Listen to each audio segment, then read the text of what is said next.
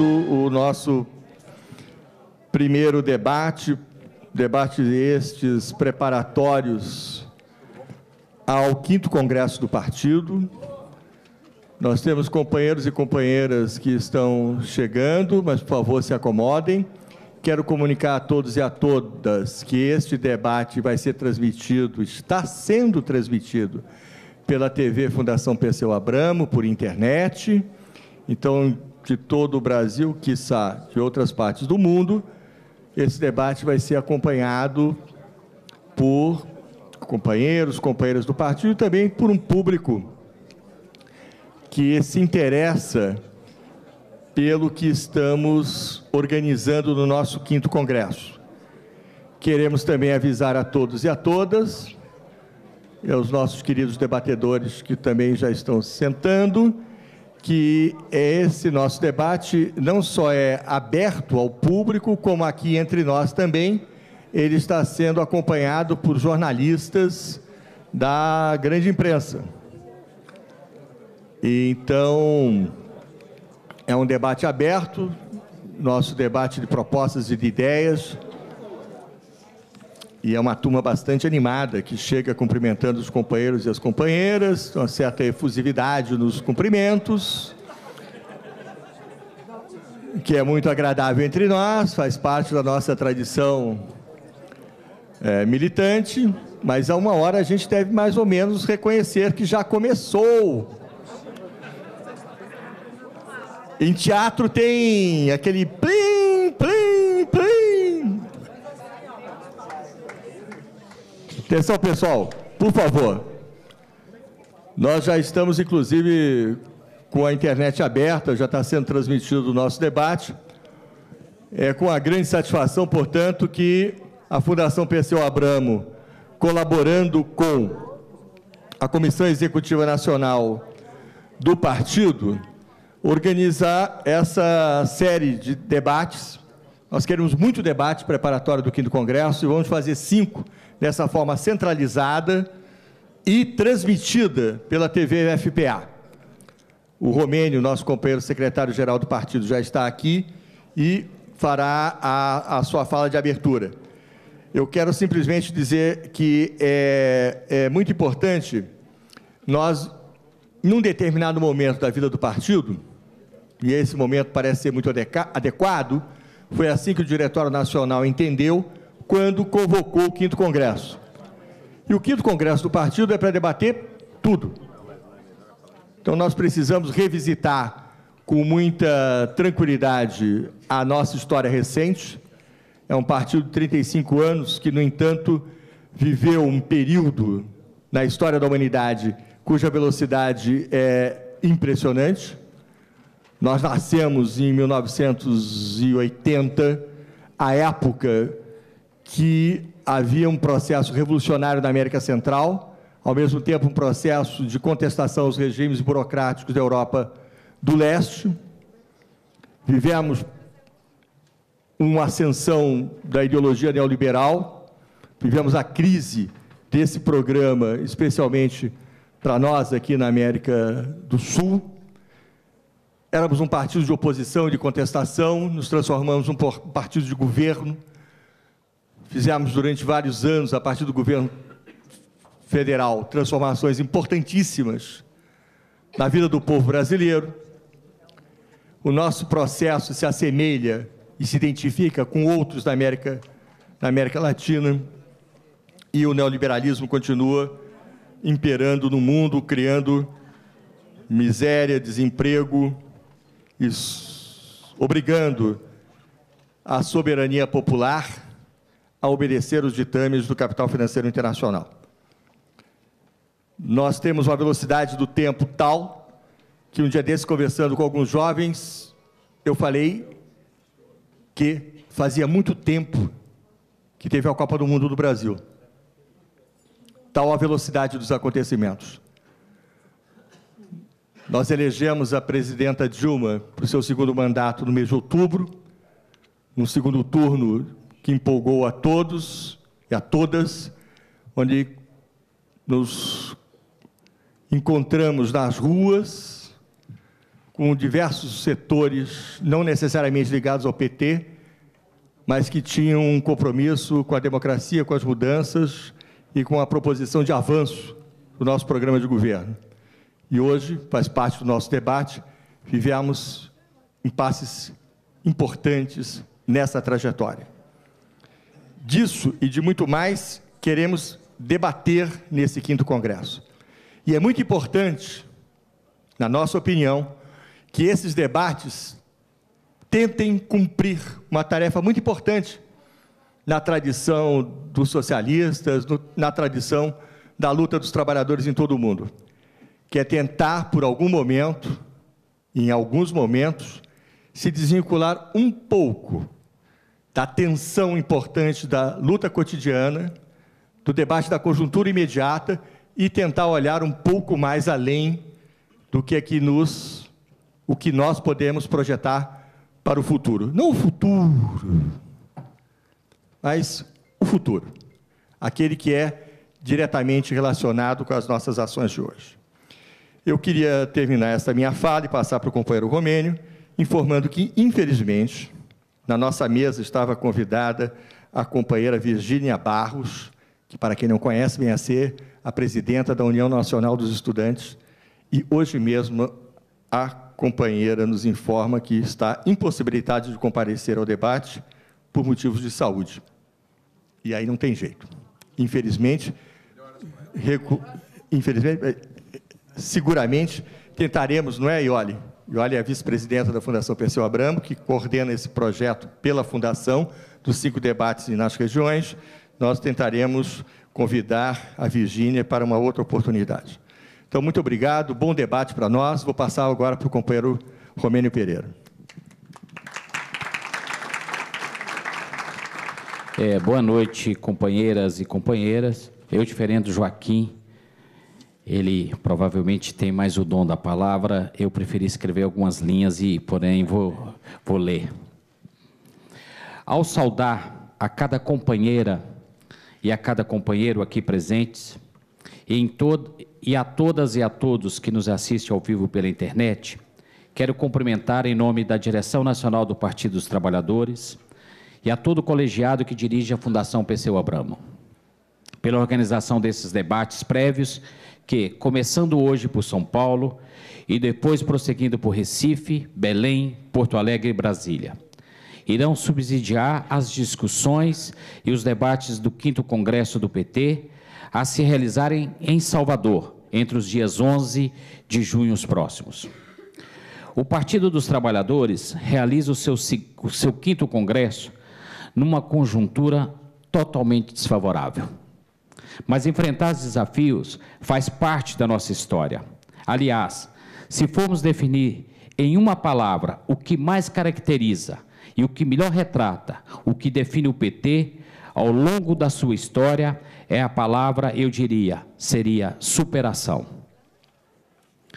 Quando a ditadura acabou, com o MDB e com a Arena, e se fez uma pífia reforma partidária, muitos apostaram que o PT não nasceria.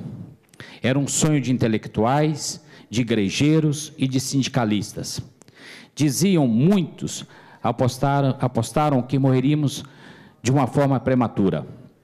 Outros diziam que não conquistaríamos mais que uma minúscula parcela do eleitorado politizado, a maioria afirmava que eleger um operário presidente era utopia.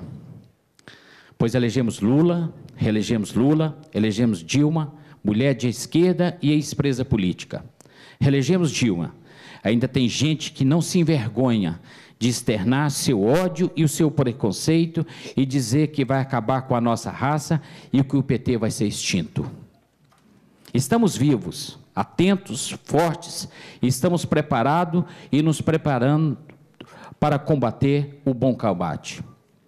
Mas esse seminário preparatório ao quinto congresso vindouro não são lugares para lamentações.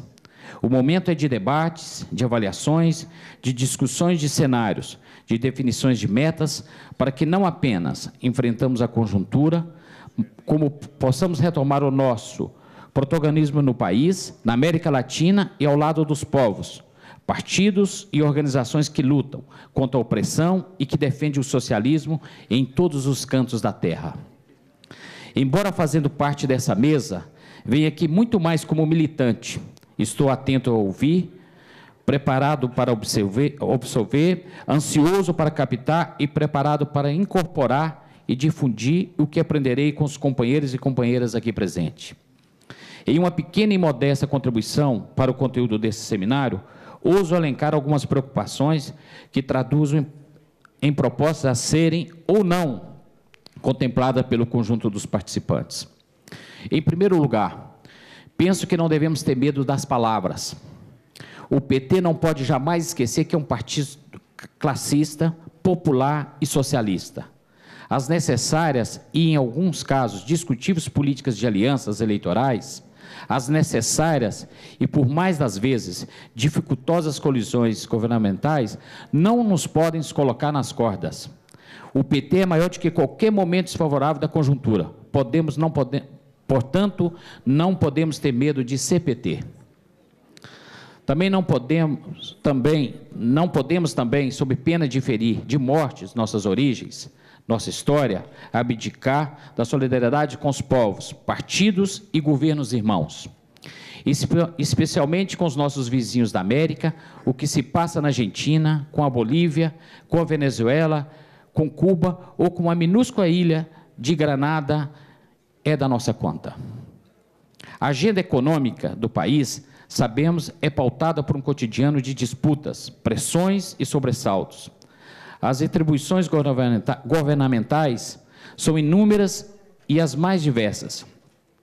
O PT precisa entrar nessa agenda não apenas apoiando o que a governabilidade o obriga a apoiar, mas introduzindo no debate do médio e longo prazo temas como a taxação das grandes fortunas, a taxação das grandes heranças, a busca de uma taxação do capital, uma escala maior do capital especulativo e o necessário papel do Estado como intutor do desenvolvimento, da distribuição de renda e da justiça social.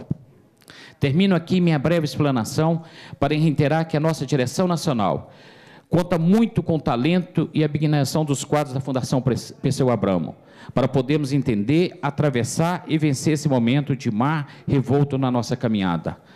O papel militante dos intelectuais de esquerda sempre foi preponderante na história da humanidade, a história de, das lutas pela liberdade do mundo em todas as épocas. A afirmação não é minha, muito menos ela é nova.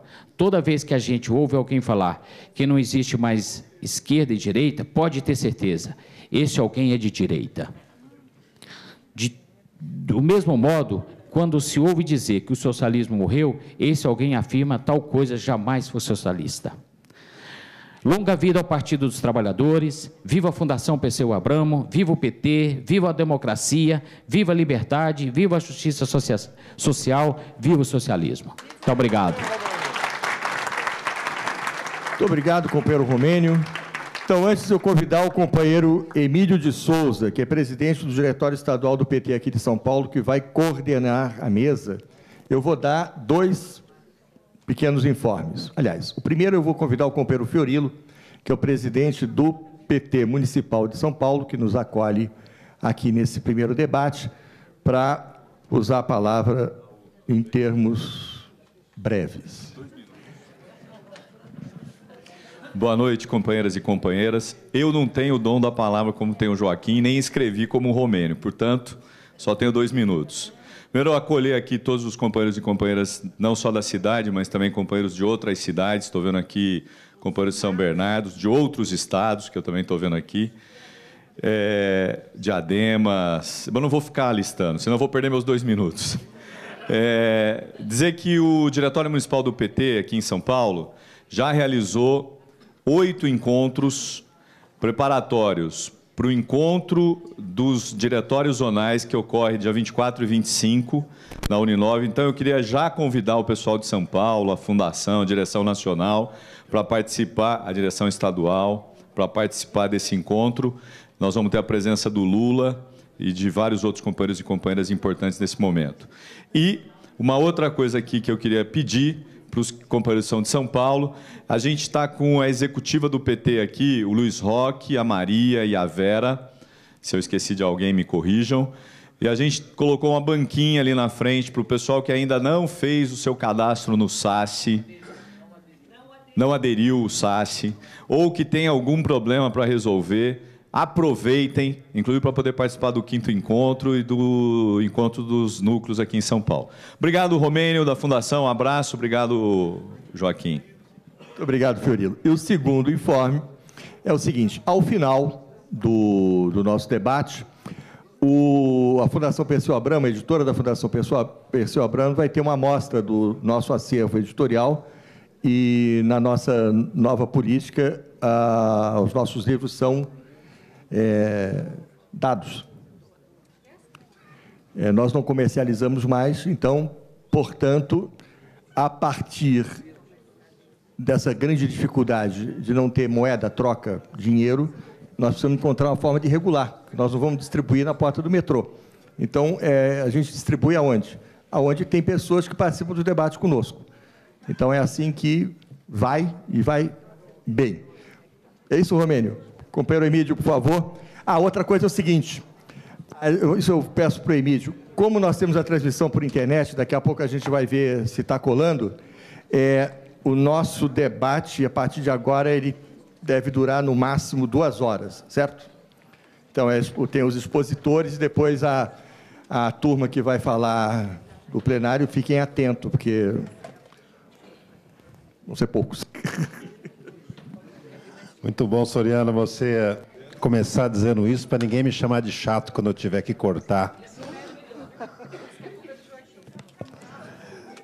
Pessoal, boa noite a todos os companheiros e companheiras. Eu quero é, já convidar para fazer parte da mesa os nossos debatedores, para a gente, como nós temos tempo limitado, a gente já dá início rapidamente ao nosso debate. Então, quero convidar para a mesa o, o nosso professor Emir Sader, cientista político, por todos nós já reconhecido.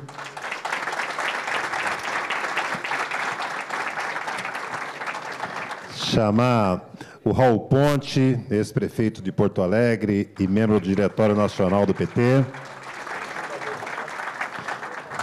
Lamentar a ausência da Vicky Barros, pela razão já exposta aqui. Convidar a professora historiadora Heloísa Starling, que é professora da UFMG.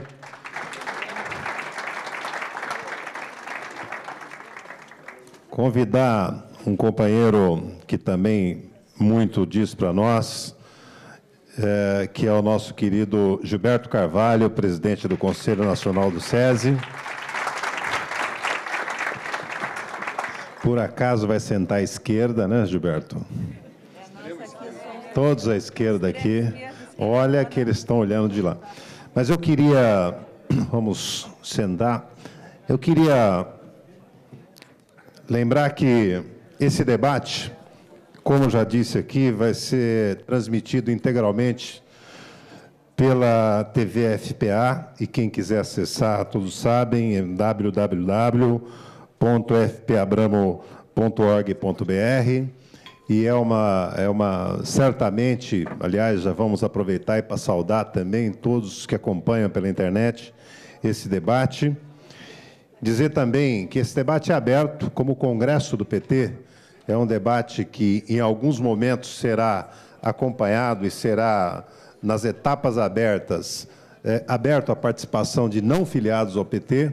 E, no caso aqui hoje, quero lembrar os debatedores todos e aos que forem é, se utilizar do microfone, que nós estamos acompanhados de diversos representantes da imprensa. Nosso debate é aberto, portanto, quero fazer esse registro.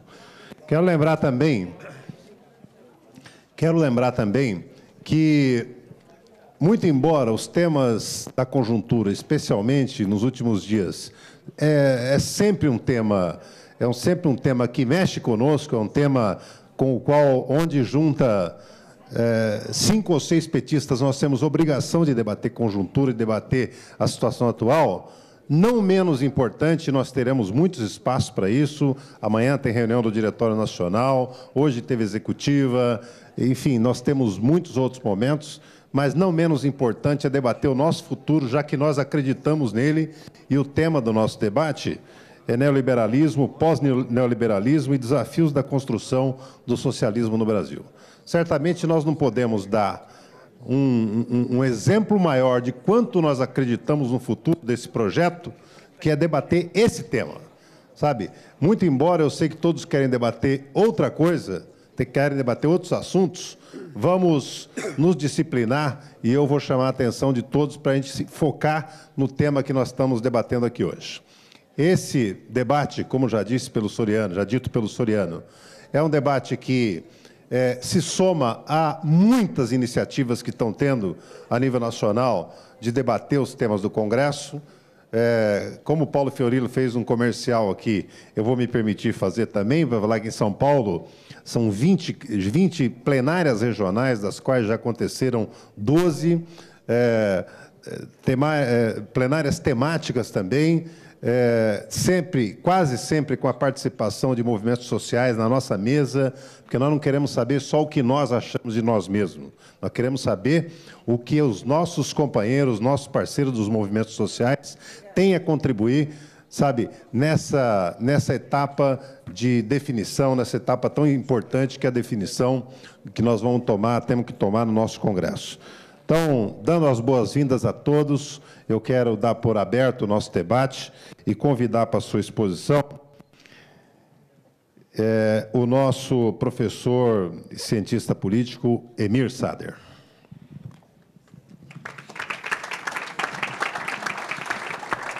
Boa noite, obrigado pelo convite. É justo limitar o tempo de cada um, eu vou me ater, então, aos 20 minutos para falar sobre um tema longo, ser sintético, para não, para não dizer curto e grosso. Mas, quer dizer, outras explicações a gente pode dar no debate. O neoliberalismo se instaurou depois que houve o esgotamento do ciclo longo de crescimento do capitalismo, do segundo pós-guerra até os anos 70, 80, e se esgotou o modelo hegemônico naquela altura, keynesiano, regulador do bem-estar social. Os neoliberais ganharam o debate o tema essencial é que a economia não crescia mais porque havia muitas travas, muitas regulamentações, era preciso desregulamentar, liberalizar para que o capital voltasse a se investir, a economia voltaria a crescer e todos ganhariam. Bom, a, a síntese do neoliberalismo é desregulamentação. Foi desregulamentado e não aconteceu crescimento. Por quê? Porque, como dizia o Marx, o capital não está feito para produzir, está feito para acumular riqueza. Desregulamentação significou que o capital podia se investir onde ele bem entendesse onde ele ganhasse mais. E ele ganha mais na especulação financeira. Mais, taxa de juros rende muito mais do que a taxa de lucro do investimento produtivo, paga menos imposto e tem liquidez total, pode circular para onde ele bem entender. Então, em escala mundial, uma transferência brutal de capitais do setor produtivo ao setor especulativo. Não quer dizer que tem o bom capitalista que é produtivo e outro que é especulativo. Todo grande conglomerado tem um banco ou um setor financeiro na sua cabeça. Então, a Votorantim ganha mais com banco do que produzindo cimento. Mas, em escala mundial, o setor hegemônico passou a ser o setor financeiro da modalidade especulativa. Não é a finança que financia a produção, ou o consumo, ou a pesquisa. Ela compra e vende papéis. Não produz nenhum bem, não produz nenhum emprego. Então, por isso que esse ciclo longo agora é um ciclo recessivo. É um ciclo em que a economia cresce a nível baixo ou regride. Essa é a etapa atual, não vou analisar mais profundamente o neoliberalismo, vocês conhecem basicamente o que, o que significa. Né? Ele chegou nessa, nessa, dessa maneira. Houve gente que dissesse que só se sai do neoliberalismo para o socialismo, porque o neoliberalismo é a forma mais radical de capitalismo. O capitalismo se propôs, desde o começo, de transformar tudo em mercadoria. Ele se instaurou ao constituir a força de trabalho em mercadoria, a terra em mercadoria. E trata de mercantilizar tudo. A crise de 29 abriu um parênteses, em que houve um estado bem-estar social keynesiano, criando um setor estatal forte na economia, e depois houve o retorno para essa forma de mercantilizar tudo, que é o objetivo central do neoliberalismo. Então se dizia, só se sai daqui para o socialismo. Se fosse uma análise teórica, poderia ser, mas acontece que a gente saiu daquele período com uma correlação de força muito retrocedida. Quer dizer, nós passamos de um mundo bipolar ao mundo unipolar sob a hegemonia imperial norte-americana. Passamos de um ciclo longo expansivo para um ciclo longo recessivo, de um modelo que reconhecia direitos para um modelo liberal de mercado. E, além do mais, o fim do socialismo não se deu pela esquerda, se deu pela direita, desmoralizando o socialismo, Estado, política, organização, soluções coletivas e tal. Então, não adianta a gente dizer que sairemos só no socialismo se a correlação de forças retrocedeu.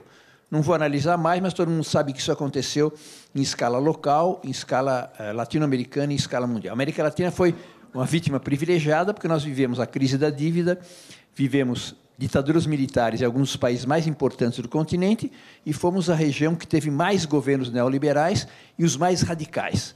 Então, nós tivemos um retrocesso mais forte aqui na América Latina. Por isso é que aqui nasceu o que eu chamaria de pós-neoliberalismo. Não quer dizer que tem uma etapa histórica chamada pós-neoliberal. É uma maneira descritiva de falar governos que reagem ao neoliberalismo que eu acho que as características comuns desses seis governos que reagiram desde a Venezuela até, até o Equador são três. Primeiro, ao invés da prioridade do ajuste fiscal, prioridade de políticas sociais. No continente mais desigual do mundo, um governo popular tem que priorizar basicamente a luta contra a exclusão, a desigualdade, a miséria, a pobreza. Por isso que esses governos têm um apoio popular enorme, mesmo com dificuldades que têm atravessado. Nunca houve governos com tanta estabilidade política, tanto apoio popular, especialmente das camadas mais pobres. Quando as políticas sociais vão bem, esses governos costumam manter um apoio popular significativo.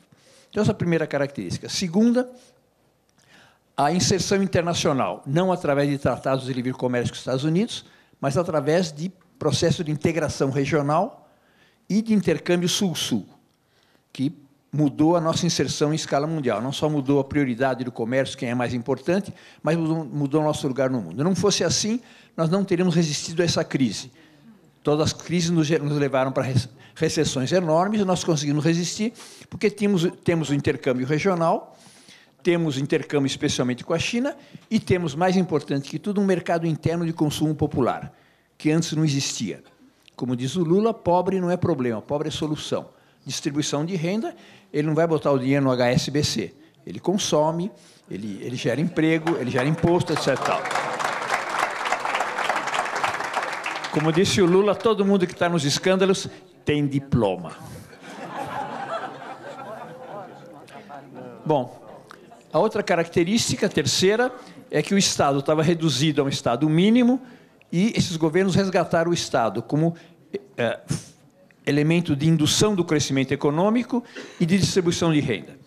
Então, esses governos da região, todos têm essas características, são governos de saída do neoliberalismo. Romperam com três elementos fundamentais do neoliberalismo. Alguns de maneira mais moderada, outros de maneira mais radical. Eu diria que Argentina, Brasil e Uruguai são governos antineoliberais. Venezuela, eh, Bolívia e Equador pretendem ser antineoliberais e anticapitalistas avançar um pouco mais, porque nós, etc. Tal, mas, de qualquer maneira, esse é o objetivo. Mas, em comum, tem esse elemento de serem pós-neoliberais, que, repito, não é uma fase histórica, mas, sobretudo, porque nós continuamos a viver em escala mundial sob hegemonia neoliberal. Apesar do fracasso do modelo, ele continua a ter vigência em escala mundial. Olha a Europa aí. Então, nós estamos numa situação de defensiva, em escala mundial defensiva, e América Latina em particular. Nós somos os mais massacrados e os que mais reagimos ao neoliberalismo. Daí o fato de termos esses governos que a gente conhece, que tem, tem dificuldades enormes, vamos ver em seguida, mas são governos pós-neoliberais. Ninguém pode dizer que a Argentina do Menem é a Argentina dos Kirchner, que o Brasil do Fernando Henrique é do... Bom, todas essas, essas comparações que a gente sabe. Então, pode no papel se dizer qualquer coisa, não é a mesma coisa, tá, tá, mas a, a transformação essencial, antes de tudo, na situação das classes populares é, é substancial, mas também no papel do Estado, também na política internacional. Então, isso caracterizaria o pós-neoliberalismo, que, porém, esses governos não retomaram a nossa economia como ela era, era antes do neoliberalismo. Receberam uma herança pesada. Estado reduzido às mínimas proporções, sociedade fragmentada, economia escancarada, desindustrialização, regressão com papel importante dos produtos primários na exportação, tudo aquilo que nós herdamos anteriormente. Então, além do mais, tem uma afirmação do Perry Anderson que é muito importante, que diz: quando finalmente a esquerda chegou ao governo, tinha perdido a batalha das ideias. Quer dizer, o neoliberalismo fracassou com o modelo econômico, mas deixou uma herança de valores, estilo de consumo, chamado modo de vida norte-americano, shopping center, etc., tal, que continua freneticamente por aí. Até nos setores pobres da população tem uma ambição, em alguns setores, expectativa de consumo estilo shopping center. A China, que faz um movimento extraordinário, resgatar 200, 300 milhões de pessoas da miséria em pouco tempo, tem um estilo de consumo, shopping centers são iguais daqui, mais bonitos, mas são iguais. Então, na verdade, hegemonia no sentido gramsciano é isso, quando mesmo aqueles que são vítimas ou são adversários incorporam os teus valores. Então, esse, esse é o elemento decisivo. No Brasil e fora do Brasil, a disputa fundamental é ideológica, é de valores. Os Estados Unidos são decadentes, mas a força maior deles é ideológica. É o estilo de consumo que não tem concorrência, não somos evangélicos, não somos islâmicos, etc. Tal. Mesmo onde nós avançamos, como no Brasil, Argentina, Venezuela, não conseguimos construir uma ideologia correspondente às nossas, nossas políticas são solidárias, são humanistas, mas isso não se reflete em nível dos valores. Montão de, de justificativas, monopólio dos meios de comunicação, tá, tá. a verdade é que existe uma desigualdade e um desenvolvimento enorme no nosso país, nós quase perdemos a eleição por causa dessas coisas. Então, é, é, é um tema que sobrevive. Quer dizer, o fracasso do modelo neoliberal nos levou a governar mas os, os, valores deles continuam a permear, são valores cotidianos que têm um apelo muito forte, né? Consumo, shopping center, tá? não vou nem, nem me aprofundar nisso. Mas essas são contradições desse, dessas, desse período histórico, além dos elementos estruturais que nós recebemos. Hegemonia do capital financeiro é o principal problema estrutural do Brasil. Nós podemos fazer o ajuste que, que for necessário, só que não podemos subir a taxa de juros quatro vezes depois da eleição porque é um incentivo à especulação financeira. Se nós queremos retomar um ciclo de desenvolvimento econômico, temos que baixar a taxa de juros, que, aliás, é uma promessa corretíssima da Dilma em 2010, que ia baixar 6%, que é o nível internacional. Não estou querendo falar da conjuntura, mas só falar que tem um elemento estrutural. Quebrar a espinha dorsal do capital financeiro, sem a qual não haverá um novo ciclo de expansão e não haverá uma economia produtiva. Segundo lugar, a questão do agronegócio. Quer dizer, nós recebemos uma herança dura, ninguém vai deixar de vender soja para a China, e a China vai comer cada vez mais, vai comprar cada vez mais, só que está dominado pelo agronegócio, todos os problemas que a gente sabe. Então, o fortalecimento da economia familiar, pequena e média empresa, tá, é essencial para dar uma contrabalançada nisso. Terceiro lugar, o monopólio dos meios de comunicação, nós conhecemos, financiamento privado, etc., tal, elementos estruturais que sobraram e que sobraram, que são ainda herdados e presentes e reproduzem elementos neoliberais na nossa economia. Então, nós estamos numa época de disputa ainda. Nós temos o governo que nos dá capacidade de iniciativa, mas, na verdade, não estão resolvidos os problemas estruturais para a gente dizer que superamos, dos quais o mais importante é a ideologia, são os valores. No momento que o povo tiver consciência, organização, força de convencimento para defender os seus valores, não há quem, não há quem possa derrotar a esquerda no país. Então, esses são elementos. O que, que tem a ver isso com o socialismo, eventualmente. Falei 12 minutos, 13 minutos? Você falou 12. 12. Bom, é, queria dar uma explicaçãozinha teórica muito rápida. O neoliberalismo nos diz o seguinte: a opção hoje em dia é entre o estatal e o privado. Destruir o Estado e falar, querem defender esse Estado destruído que está aí? Ou então vem para o privado. É uma alternativa equivocada, forjada. Primeiro que o espaço deles não é a esfera privada. A esfera privada a gente valoriza os valores individuais, liberdade individual. O deles é a esfera mercantil. Transformam tudo em mercantil. Educação deixa de ser direito para ser mercadoria. Saúde, cultura, tudo isso. Então, a esfera deles é a esfera mercantil, a esfera do consumidor. No shopping center só entra quem tem poder de consumo, que é quem lhes interessa, não é o cidadão. A nossa esfera não é estatal. O Estado pode ser uma coisa pode ser outra.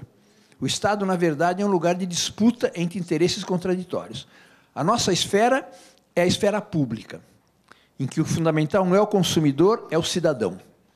O fundamental não é a mercadoria, é o direito. Uma democracia é universalização dos direitos. Não só democracia, de alguma maneira o socialismo é isso. O socialismo é a universalização da esfera pública. Todo mundo tem direito, todo mundo tem os mesmos direitos, etc. Aí todo mundo se transforma em cidadão. Cidadão quer dizer sujeito de direitos. O cara que trabalha terceirizado não é cidadão porque não tem os direitos estabelecidos. Então, o que, pode ter de socialismo, de anticapitalismo aí? Fortalecimento da esfera pública.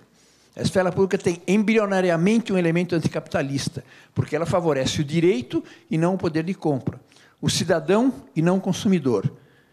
No Estado tem as duas coisas disputando entre si, interesses públicos e mercantis. É uma disputa permanente, uma disputa de hegemonia. Então, o Estado não é uma coisa, pode ser uma coisa, pode ser outra, mas, em geral, é um lugar de disputa entre interesses públicos e interesses mercantis. Então, conforme a gente cria esfera pública, reconstitui educação pública, saúde pública, cria espaços territoriais de direitos públicos, etc. Nós estamos criando embrionariamente um elemento anticapitalista. Conforme a gente mercantiliza mais, estamos estendendo a esfera neoliberal, a esfera capitalista. De alguma maneira, a gente pode analisar quanto a gente avançou, sabendo quanto existe ainda de esfera mercantil, quanto existe de esfera pública. Esse acaba sendo o termômetro mais importante hoje, na era, na era neoliberal. Pensar a contradição entre o público e o mercantil. E, é uma, e não é só ao nível objetivo, é ao nível da consciência das pessoas. Está equivocado dizer que as pessoas devem ter oportunidade. As pessoas devem ter direito. Oportunidade pode ser nos Estados Unidos, vocês sabem que não tem pobre, tem fracassado. O cara teve oportunidade, não deu certo, fracassou, dançou. Foi incompetente. Então, parece bonito, nós vamos dar oportunidade às pessoas. Na verdade, nós temos que afirmar a ideia do direito. Nossas políticas sociais têm que afirmar, junto com a, com a política, que o cidadão tem direito àquelas coisas. Ele é cidadão. O ser humano tem direitos fundamentais. E não a ideia porque as pessoas muitas vezes dizem, ah, eu estou melhor porque eu trabalhei mais. Trabalhou mais agora, trabalhou menos nos anos 90, tinha preguiça na época do Fernando Henrique, não. Eu me esforcei mais. Nós temos que as nossas políticas têm que ser acompanhadas da consciência de que é o direito é que é fundamental. E o direito, embrionariamente, tem um elemento anticapitalista, porque o ser humano tem direito independentemente do seu poder de compra. Para eles, não. O shopping center não controla a declaração de imposto de renda, mas só entra poder, gente que tenha poder de compra. Uma vez no, no Fashion Mall, no Rio de Janeiro, dos mais estilosos é, shopping center do Rio, tinha um menininho negro. Ah, os seguranças foram voando em cima dele. Aí a babá falou: não, não, ele é filho adotivo do, do Caetano Veloso. Ah, bom, então pode. Quer dizer, tem, é o poder de compra do papai que conta, mas o sintoma de ser negro não podia estar ali dentro. Né? Mas essa é a utopia deles. É uma utopia para poucos, comprando muito, coisa estilosa e sem nenhuma identidade. A pessoa entra no shopping center, se desliga da sua vida, da sua rua, da sua gente e está conectada com as marcas, com a Califórnia, com o Japão, etc. Tal. E é aquilo que chamam de não lugar. Vocês repararam que o shopping center não tem janela e não tem relógio, para a pessoa se esquecer do tempo, esquecer do espaço, ficar comprando até quando sai está de noite, já sem dinheiro, mas tá, e é de noite além do mais. Bom, essa é a utopia dele. A nossa utopia é a praça pública, é o espaço público, é o céu como escola fundamental de espaço público para todos. Aí tem embrionariamente uma coisa comunitária, até comunista de alguma maneira, se não houvesse ainda moeda. Mas esse é o embrião que eu diria que tem, que articula neoliberalismo, pós-neoliberalismo e socialismo. Fortalecimento da esfera. Sobretudo porque a nossa via estratégica hoje não é a luta armada.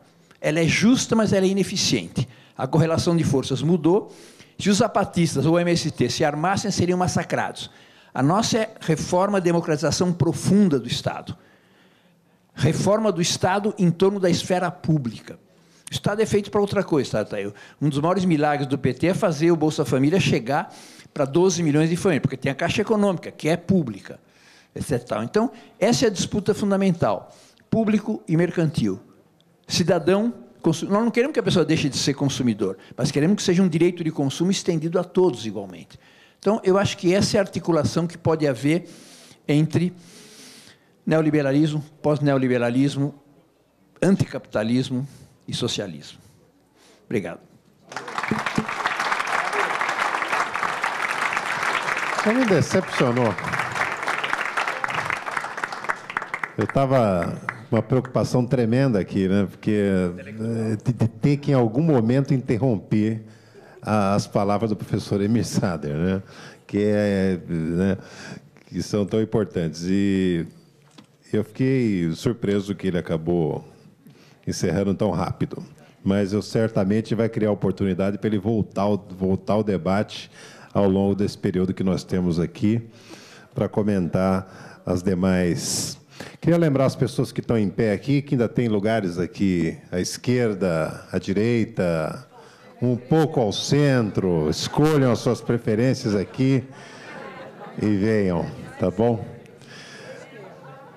Bom, eu quero na, na nossa, na nossa, no nosso prosseguimento aqui no nosso roteiro, nós vamos agora passar a ouvir os debatedores.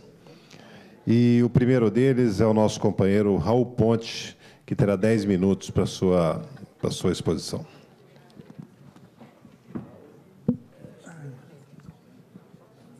Boa noite a todos e a todas. É, com a ausência da Virgínia, a gente não pode socializar o tempo dela para três para cada um aí. Eu prometo que nós, depois que todos falarem, tá professor, então, vão ver as inscrições, se tiver tempo. Teremos que ser mais telegráficos e mais didáticos que o Emir. E queria cumprimentar todos os companheiros da mesa. Né? É uma alegria estar aqui, uma satisfação. A gente está nesse processo preparatório do Congresso. E a fala do Emir já nos economiza uma série de elementos, conceitos e, algumas interpretações que nos permitem ganhar tempo.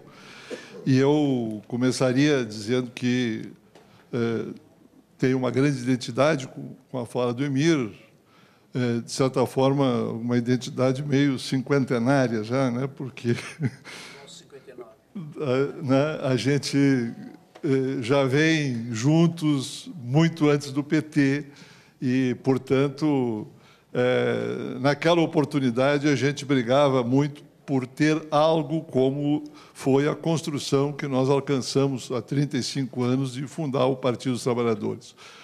E acho que aquilo, eh, esse, esse elemento é um elemento fortíssimo, porque naquele momento nós podíamos ter optado, não é? Por outra coisa? Por que, que nós não optamos? Afinal, tinham alternativas fortes.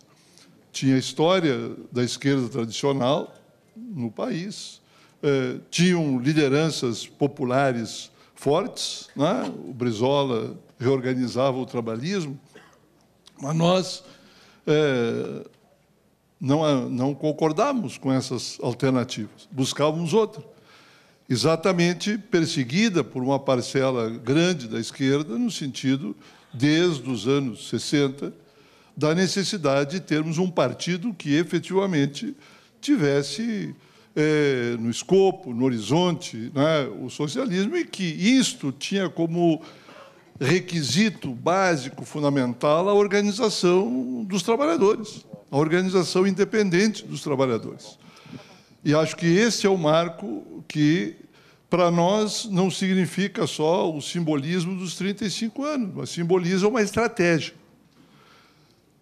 Como nós estamos discutindo o Congresso, bem, é, nada mais oportuno do que nós discutirmos estratégia, discutirmos qual é a nossa estratégia. Se era correto né, que, eh, naquela oportunidade, se constituísse um partido diferente, distinto, não só do ponto de vista do Norte, com dificuldades de saber exatamente qual é esse horizonte, porque nós nascemos combinando com uma crise brutal do socialismo real. Né? É, mas isso estava meio brumoso, mas era um horizonte, era o que tínhamos.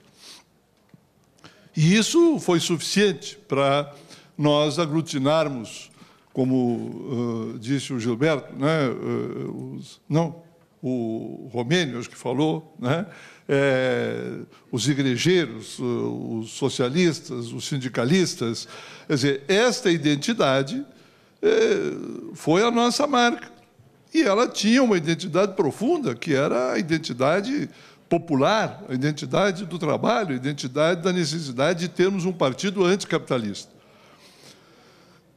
E nós crescemos exatamente como referenciou o Emir, eh, na contramão da história, porque eh, foi exatamente nós, quanto mais se fortalecia o neoliberalismo no mundo, aqui, contraditoriamente, nós crescíamos.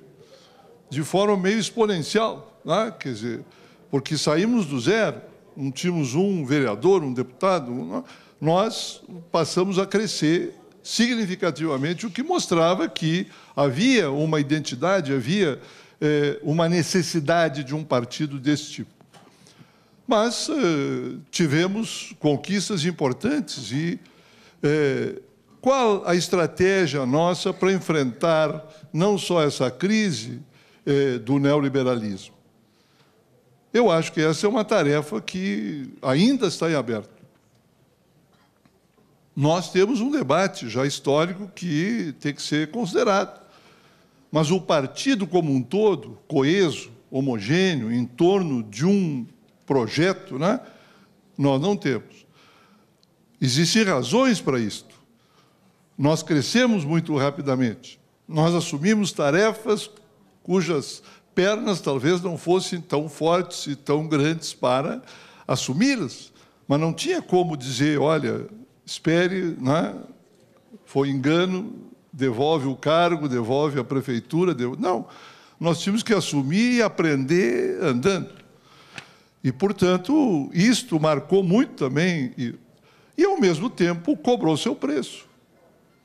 Cobrou seu preço, porque é, a ideia predominante, a ideologia predominante, os valores predominantes, as estruturas que nós passamos a administrar, eh, passaram a amaciar, domesticar, é, cooptar, usar o verbo que quiser aqui, mas é, foi assim.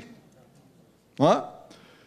E isso dificultou que, neste crescimento, nessa disputa, nesse processo, nós tivéssemos efetivamente construído uma alternativa sólida, um projeto né, é, é, estratégico de como superar os problemas herdados e, e como avançar nesse sentido. Quando chegamos à presidência da República, isso se tornou, então, mais difícil porque os desafios eram muito maiores. E, naquela oportunidade, de certa forma, talvez sem uma discussão que conseguisse envolver todo o partido, mas nós tivemos uma opção. Fizemos ali, naquele momento, uma opção que se pode dizer uma opção estratégica. Né? Quer dizer, nós já tínhamos alguns acúmulos. Por exemplo, quando o Fórum Social Mundial é, escolheu, lá numa reunião em Paris, e entrou em contato conosco em Porto Alegre, eu estava ainda na prefeitura, o Olívio estava no governo do Estado, né, é, o Bernard é, Cassin, né, do Cassin, do, do Le Monde Diplomatique, ele, ele dizia, não, tem que ser aí, vocês têm que dar um jeito, nós precisamos fazer aí, porque aí vocês estão praticando a experiência mais rica ante o neoliberalismo, que era a experiência da participação popular direta, da democracia participativa, do orçamento participativo, das pessoas decidir para onde vai o dinheiro público, democraticamente. A experiência que ele tinha ido vivenciar e viver e olhar pessoalmente alguns meses antes, ele diz: isto é que nós precisamos mostrar para o mundo. E era a nossa experiência do, do PT, uma experiência que garantia efetivamente uma outra forma de governar, que eh, não era tudo, mas era coerente com uma, uma estratégia. Quer dizer, a estratégia de desde o primeiro momento, com dificuldades, com limites, né? mas de você ter formas de governo, de avanço, de, que nos permitissem ter coerência com uma visão de longo prazo, com uma visão de mudança efetiva da sociedade. E essas experiências, elas muitas se mantêm, mas elas não estão integradas numa visão de estratégia nossa, como referenciou no final quase da fala, quando o Emir diz que eh, nós não, não estamos na, numa política eh, de via chinesa, via castrista, luta armada, ou não, não é. Qual é a nossa estratégia? Dizer, a nossa estratégia é da, de uma democratização profunda.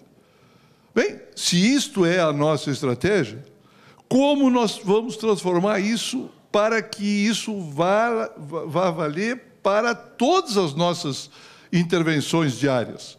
No sindicato, na luta da democratização da empresa, da democratização da universidade, do controle efetivo, do, da democratização do município, com controle efetivamente, com participação popular direta.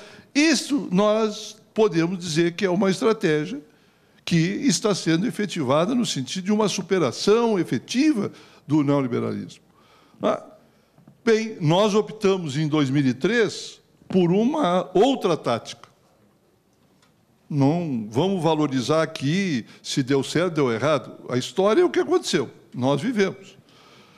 E a maioria, naquele momento, legitimamente, optou por essa estratégia de governabilidade congressual, de acordo com os partidos. Né? Talvez fosse a única, talvez não tivesse outra. Não tem como agora nós dizer, não, podia ser assado, podia ser. Mas foi assim. E agora nós temos já, no mínimo, né, três mandatos, começando o quarto agora, para avaliar isto. Essa política ela está de acordo com a nossa estratégia? Ela nos leva efetivamente a superar? Do meu ponto de vista, não leva.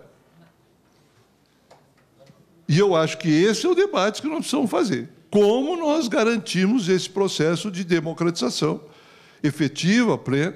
E isso envolve que tipo de política de aliança nós vamos fazer? Ou não vamos fazer? Que tipo de é, Estado nós queremos? Todos nós somos a favor da reforma política. É? Por quê? Porque nós estamos de core, sabemos de core salteado que esse sistema que está aí foi feito para os ricos, foi feito para liquidar com o partido da esquerda, foi feito para impedir que o povo chegue no poder. Está é? estampado aí na imprensa. O presidente da Câmara gastou na campanha o ano passado 6 milhões e 800 mil do que declarou no Tribunal Superior Eleitoral.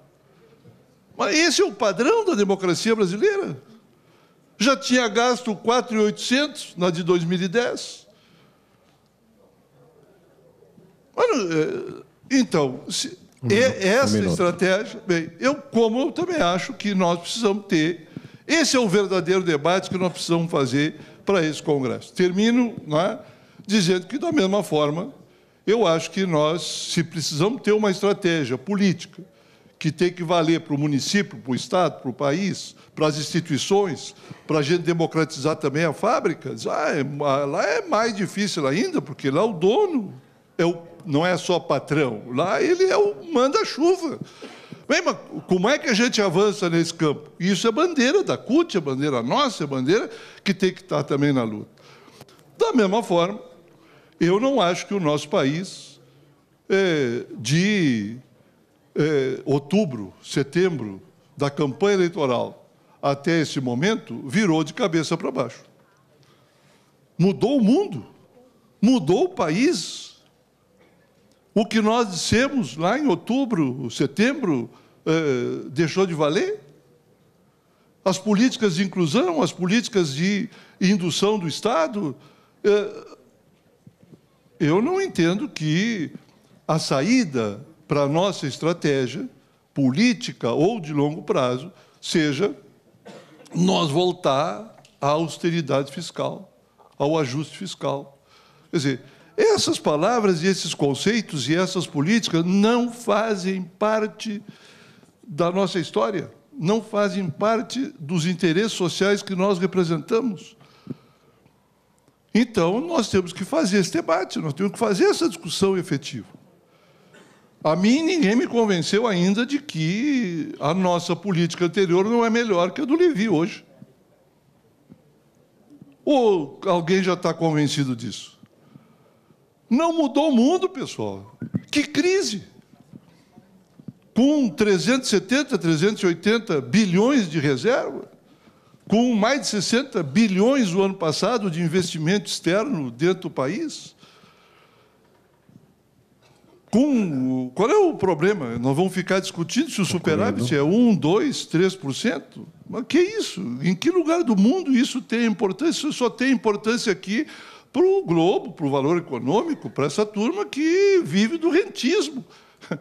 Não é o nosso, não é a nossa, não é, é, não é o nosso critério. E aí termino né, dizendo que por isso que nós temos que ter essa discussão de valores, a discussão de outra cultura, outros valores, outra ideologia, que envolve teoria política, teoria econômica, é isso. Então, é, infelizmente, a gente meio telegráfico aqui, mas eu quero deixar esses pontos para a gente poder não só debater hoje, mas, do meu ponto de vista, fazer com que isso seja efetivamente o tema do nosso Congresso. Obrigado. Obrigado. Obrigado ao companheiro Raul Ponte. Como vocês repararam, nós tivemos uma, uma tolerância porque nós fizemos, na verdade, o ajuste no tempo. Esse ajuste nós somos favoráveis. Tá vendo como o Raul é a favor de um ajuste agora?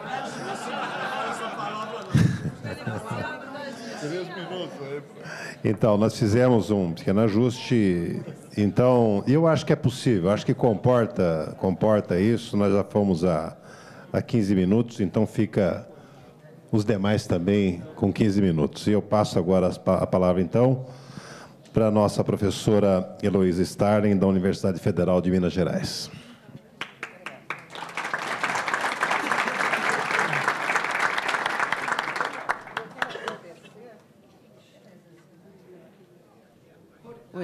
Eu queria agradecer o convite da Fundação Perseu Abramo. Eu queria agradecer o convite da Fundação Perseu Abramo. Eu me sinto especialmente honrada de poder estar aqui nessa mesa e poder falar para essa plateia. E me sinto e quero que vocês me deem um desconto, porque eu estou falando ao lado de pessoas uh, que eu respeito muito. E a mesa também, todos eles da mesa, mas em especial o Raul Ponte, que desde o meu tempo de movimento estudantil, que não faz tanto tempo assim, por favor, é, foi uma grande, foi uma referência, continua sendo uma referência importante, fez diferença para mim. Então, vocês me deem um desconto, porque falar ao lado da bibliografia de vida é sempre muito complicado. Né? Ah, eu venho das Minas e sou historiadora, então a primeira coisa, eu vou, vou assumir a postura de um, de um escritor de Minas que dizia que eu quase que nada não sei, mas eu desconfio de muita coisa.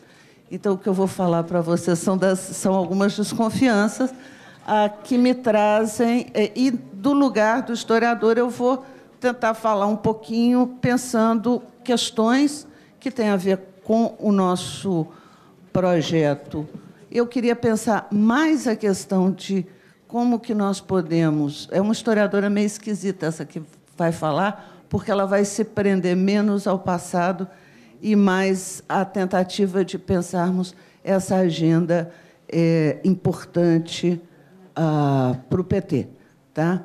Ah, e eu acho que uma agenda importante para o PT é uma agenda importante para o Brasil. Então, é, para mim, eu vou apresentar as ideias, depois vocês vão me dizer se isso fez algum sentido ou se ajudou a pensar. Né? É, eu queria, então, imaginar uma possibilidade aqui com vocês. Tá? A possibilidade de que nós estamos vivendo uma situação estranha, porque nós estaríamos vivendo um momento em que está começando uma nova história do Brasil, uma novíssima história do Brasil. É raro no tempo a gente ter essa percepção. Em geral, a gente percebe depois. Ah, aquele momento ali foi importantíssimo. Ah, ali eu vi que começou um novo capítulo da história do Brasil. Eu queria sugerir a gente imaginar um exercício de imaginação histórico em que ou está emergindo um novo capítulo da história do Brasil, ou está começando uma novíssima história do Brasil aqui, no momento em que nós estamos vivendo, nesse tempo. Né? E eu acho que eu vou me apropriar, eu vou, comer, eu vou me apropriar um pouquinho de uma parábola de um escritor que é importante para mim, que é o Kafka, que dizia que é como se a gente estivesse é, no intervalo do tempo. Tá? O passado não é mais e o futuro não é ainda. Tá? E esse intervalo do tempo né, é o nosso tempo, é o tempo presente. Né?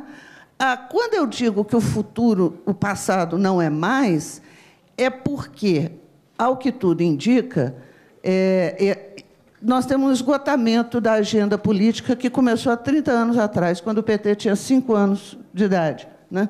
Nós estaríamos vivendo hoje o esgotamento da nova república, né?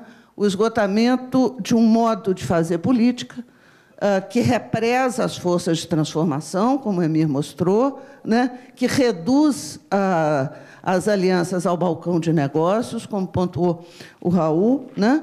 É, e eu penso que nós também estamos vendo o esgotamento da lógica de um sistema político, que é o presidencialismo de coalizão, né? que é um processo que despolitiza os processos políticos e opera com um pacto conservador que funciona como uma espécie de trava, de freio do pleno desenvolvimento político da sociedade. Então, o passado não é mais porque esse processo se esgotou. Né?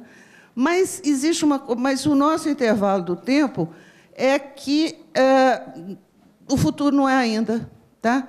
Nós, sim, nós vivenciamos essa experiência, esse nosso tempo, o tempo presente, se nós estamos nesse intervalo que o Kafka fala, né, como uma angústia. Ele tem uma dimensão de um sentimento de angústia para a gente. Eu, pelo menos, me sinto assim. Né? Por quê? Qual é a agenda que nós queremos para o Brasil? Qual é a agenda que se quer para o Brasil? Né? Se nós, diante do esgotamento do modo de fazer política atual, é possível produzir uma agenda nos quadros que nós estamos pensando aqui no, no cartaz, né? quer dizer, uma radicalização reformista, que significa na, sustentada por direitos e desenvolvimento, né? e uma radicalização democrática que vai, vir, que vai incluir, inclusive, transformações de cunho socialista. Né? Essa é a angústia, por isso que a gente vive uma angústia. Né? O sentimento é uma angústia. É possível colocar uma agenda dessa, desse tipo no horizonte político do país? Né? É, e, se é possível, quais são os nós que nós temos que desfazer para que essa angústia não nos leve ao limite. Né? Por quê? Porque quando as coisas não são ainda, o futuro segue imprevisível. E é por isso que nós estamos vivendo uma angústia. Tá? Então, é como se a gente estivesse no intervalo do tempo, o passado não é mais, né? e aí talvez a gente pudesse pensar uma questão, em cima do que o Emir Sader disse, ah, que tem a ver com o fato de que também se esgotou, né? talvez tenha se esgotado, ah, a inflexão neodesenvolvimentista do ponto de vista econômico, né? em função da completa reorientação da política econômica que também nós estamos vivendo. Tá?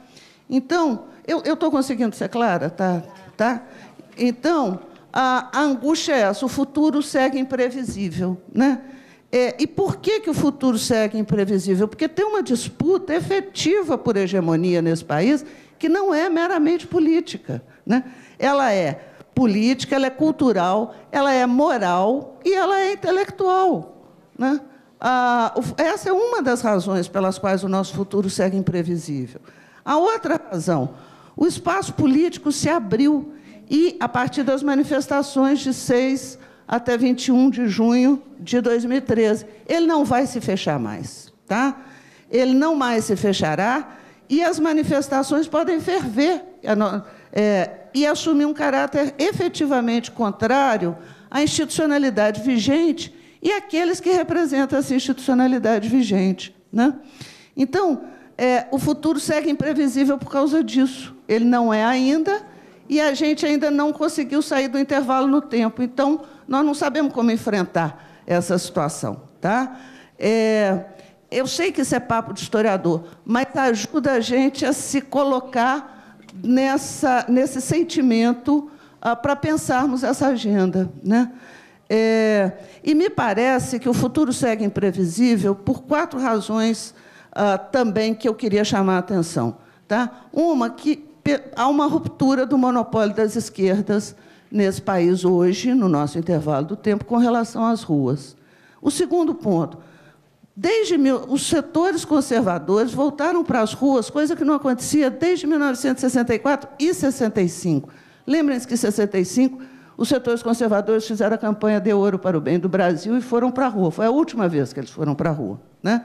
Terceiro, foi criado um polo alternativo de mobilização dos setores conservadores junto às classes médias. E quando a gente pensa classe média, nós estamos pensando em estratos intermediários da sociedade que são muito heterogêneos, nem todo mundo é de direita, nem todo mundo é de esquerda. Eles têm uma identidade muito pluralizada e hoje eles são politicamente flutuantes. Tá? Mas o que, que acontece? Tem um polo alternativo de mobilização criado junto a esses setores. Então, e quarto, esse polo alternativo de mobilização, nesse momento, ele tem potencial para desestabilizar o projeto de um governo de esquerda. Então, essa é a nossa angústia. No limite, se a gente não sair do intervalo do tempo, e se a angústia tomar conta da gente, nós vamos viver aquela situação em que os maus perderam seu temor e os bons a esperança. Os maus perderam seu temor, mas os bons não perderam a esperança. Porque o intervalo do tempo, ao mesmo tempo que ele produz esse sentimento forte de angústia, né, é, ele também contém a chance de mudança. Tá? Ninguém vive na beira, ninguém vive na, na beira, no intervalo do tempo, né, entre essas duas possibilidades, só, só vendo de um lado. Tá? Então, tem uma angústia que é forte e tem uma mudança, uma possibilidade de uma mudança, né? sem precedentes, tá? porque a, situação, a, crise, a, a crise que nós percebemos nessa situação de angústia, ela também é sem precedentes. Está começando um capítulo novo, tem uma história nova começando. Né? E é isso que impede a perda da esperança. A esperança é o que? Aquela certeza incerta que nós vivemos de que virá um bem. Né? É por isso que temos esperança. Tá? Essa, essa mudança, né, que eu estou chamando aqui de uma tá, tá, tem tempo aí? De uma radicalização reformista e democrática, ela dependeria, e aí eu penso na fala do Emir Sader, de duas coisas. Né? Da, depende da capacidade e da disposição política de nós aproximarmos, aí eu vou falar do meu lugar mesmo, republicanismo e socialismo. O republicanismo é uma tradição antiga no Brasil. Tá? Ela data com esse com viés de liberdade que a gente quer, né? É, que hoje, que lá no século XVII eles estavam pensando em liberdade, que nós hoje estamos ah, construindo sob a forma da democracia, né? vem desde o século XVII, animou. Nós conhecemos pouco a história do nosso país, mas é uma história muito linda de luta pela liberdade. O presidente Lula tem razão quando ele diz que a história da democracia no Brasil é, uma, é a história da luta do povo brasileiro construindo a, o caminho da liberdade. É, ele tem toda a razão quando ele diz isso. É uma história bonita e na origem dela está tá o republicanismo, né? que é um conjunto de valores do mundo público tá? que nos ajudam a entender como é que a gente se movimenta nesse mundo tão difícil, né? nesse mundo difícil de, de, de entender e difícil de se mobilizar. E, para lembrar o que o, professor Emissária disse, a esse movimento forte do republicanismo, que eu acho que valia a pena a gente debater em alguma ocasião de uma maneira mais é, profunda, mais dedicada, é, ele nos oferece as ferramentas para a expansão da esfera pública. Né? Ah, o conjunto de valores do mundo público próprios ao republicanismo nos fornecem as ferramentas através das quais nós podemos expandir uma esfera pública né, e pensar ah, duas, dois, duas questões para que os bons não percam a esperança. Né? Uma, ah, que a democracia ela é uma forma política que está consolidada no Brasil hoje. Né? Nós teríamos um monte de referências para tratar disso. Mas a República, não. Tá? A República é um rascunho entre nós.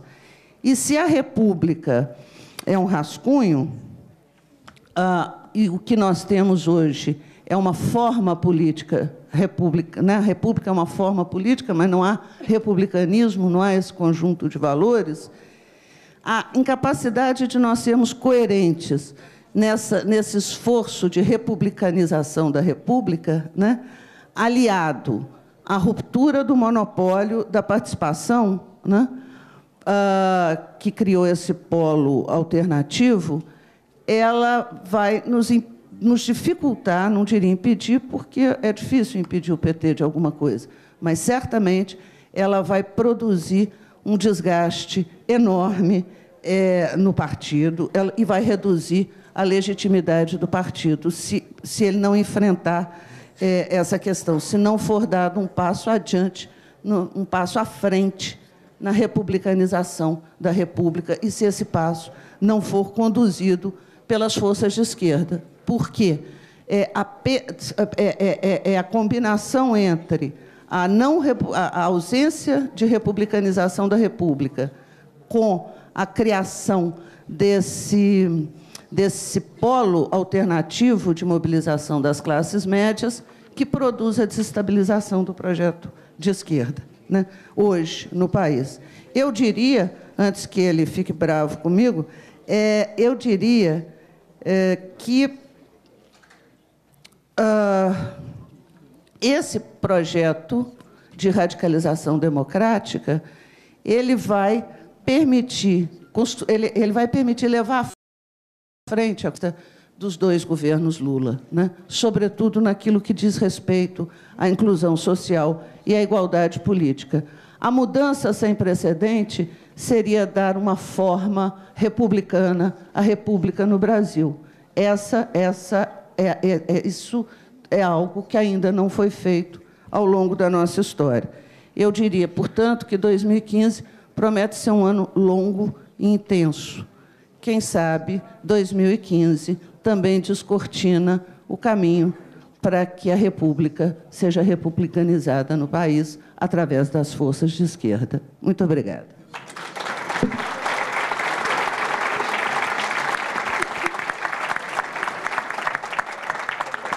Obrigado, professora Heloísa. Não, não estourou o tempo, foi, foi correta, se equilibrou com o Raul aqui e ainda vai ter oportunidade depois de voltar. Como, vamos dizer, nós tivemos aqui um, um benefício do tempo, é, eu estava pensando aqui o seguinte: o Gilberto fala, e eu queria já, preparando depois da fala do Gilberto, nós vamos abrir algumas inscrições. Alguns já se inscreveram antecipadamente aqui, mas eu estava pensando algo em torno de. Já temos sete inscritos aqui, dez, doze inscrições de três minutos, para depois a gente devolver para a mesa para ter o um mínimo de, de debate entre nós. Tudo bem? Então, vamos ouvir o nosso. Eu ainda não consigo chamar você pelo cargo novo de, de, de superintendente aí do, do, é do SESI. Mas eu vamos chamar Gilbertinho Carvalho então conosco.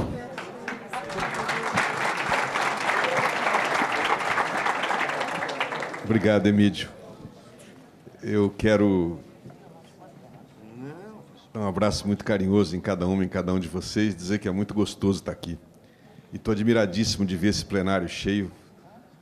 A Mila e o pessoal da fundação estavam meio apavorados, porque estava meio vazio no começo, mas é tão bom. Isso aqui é a prova de que a nossa militância e a nossa dirigência intermediária, enfim, todo mundo, quando chamado, corresponde e gosta do debate. Isso é muito importante. Queria cumprimentar com muito carinho o meu querido mestre Emir, o Raul e a Heloísa. Eles são de fato mestres. É, e o pessoal da Fundação, juntamente com todo o pessoal da Executiva Nacional, pela promoção desse, desse debate. Eu queria dizer para vocês, com muita simplicidade, que me chamou muito a atenção na bela fala do Emir, muito boa, foi esse esse aspecto que ele abordou dos valores trazidos pelo neoliberalismo. E a citação para mim muito chocante do Perry Anderson que ele fez de que nós chegamos ao governo e no momento que nós perdemos a batalha das ideias, que a esquerda na América Latina chega ao governo, esse negócio bateu muito fundo é, na minha cabeça e no meu coração, porque de fato é, eu, antes de prosseguir, quero lembrar duas coisas que eu não posso deixar de mencionar aqui, embora o Emílio proibiu falar de conjuntura. Que é né, uma semana muito dura para nós. A perda do Eduardo Galeano e a prisão do nosso Vacari. Eu não quero deixar de passar em branco isso, porque. E eu lembrei do Galeano porque ele tem uma frase importante que diz que enquanto os elefantes não falarem, a história vai ser contada do ponto de vista dos caçadores. E toda essa fala do Perry Anderson do, e que o Emir reproduz e desenvolve, que tem a ver com os valores, tem a ver com a tal da narrativa, que é uma palavra meio da moda hoje em dia, a tal da narrativa. Porque, de fato, é, nesses dias, e o dia de ontem e o de hoje mais ainda, a gente fica olhando para tudo assustado e fica pensando o seguinte: espera aí, mas depois de tudo que nós fizemos nesse país, depois de tudo que nós construímos de, de vidas resgatadas de milhões de pessoas, nós somos escória, nós somos bandidos, nós somos. O nosso projeto está para ser acabado, está para ser o registro cassado, é isso? Esse é o nosso. Que história é essa? Que narrativa e por que, que nós estamos perdendo essa batalha e essa narrativa? E aí, o Emir lembra muito bem: o, neo, o, o neoliberalismo, o capitalismo é muito mais do que um modo de produção que busca um crescimento o tempo todo, sem limites, que busca, que tem uma forma de exploração total dos meios naturais, do ser humano, a mercantilização, a especulação financeira. O, o, o neoliberalismo capitalismo produziu, de fato, uma forma de poder, uma ética própria e, acima de tudo, uma ideologia, uma maneira de pensar que efetivamente transformou, se massificou através dos aparelhos é, de que o capitalismo dispõe, que as elites dispõem, se massificou e desceu para o conjunto da população nossa, do, do mundo inteiro, através das formas culturais, onde valores afirmados é o valor do ter, é o valor do lucro, é o valor da competição e do individualismo, o valor do consumo, porque a felicidade passou a ser isso. É eu ter aquele novo celular, aquele novo carro, aquele novo, aquele novo, aquele novo, onde o, o valor da violência contra o outro, da violência da exploração da mulher, onde o ser humano, a violência contra a natureza, onde o ser humano é tratado de fato como um mero objeto, descartável, absolutamente descartável. E, junto com isso, pelos mesmos aparelhos, uma destruição persistente e ativa dos valores que marcam o socialismo, da solidariedade, da, da fraternidade, da paixão, da gratuidade, dos sonhos, da transcendência e assim por diante.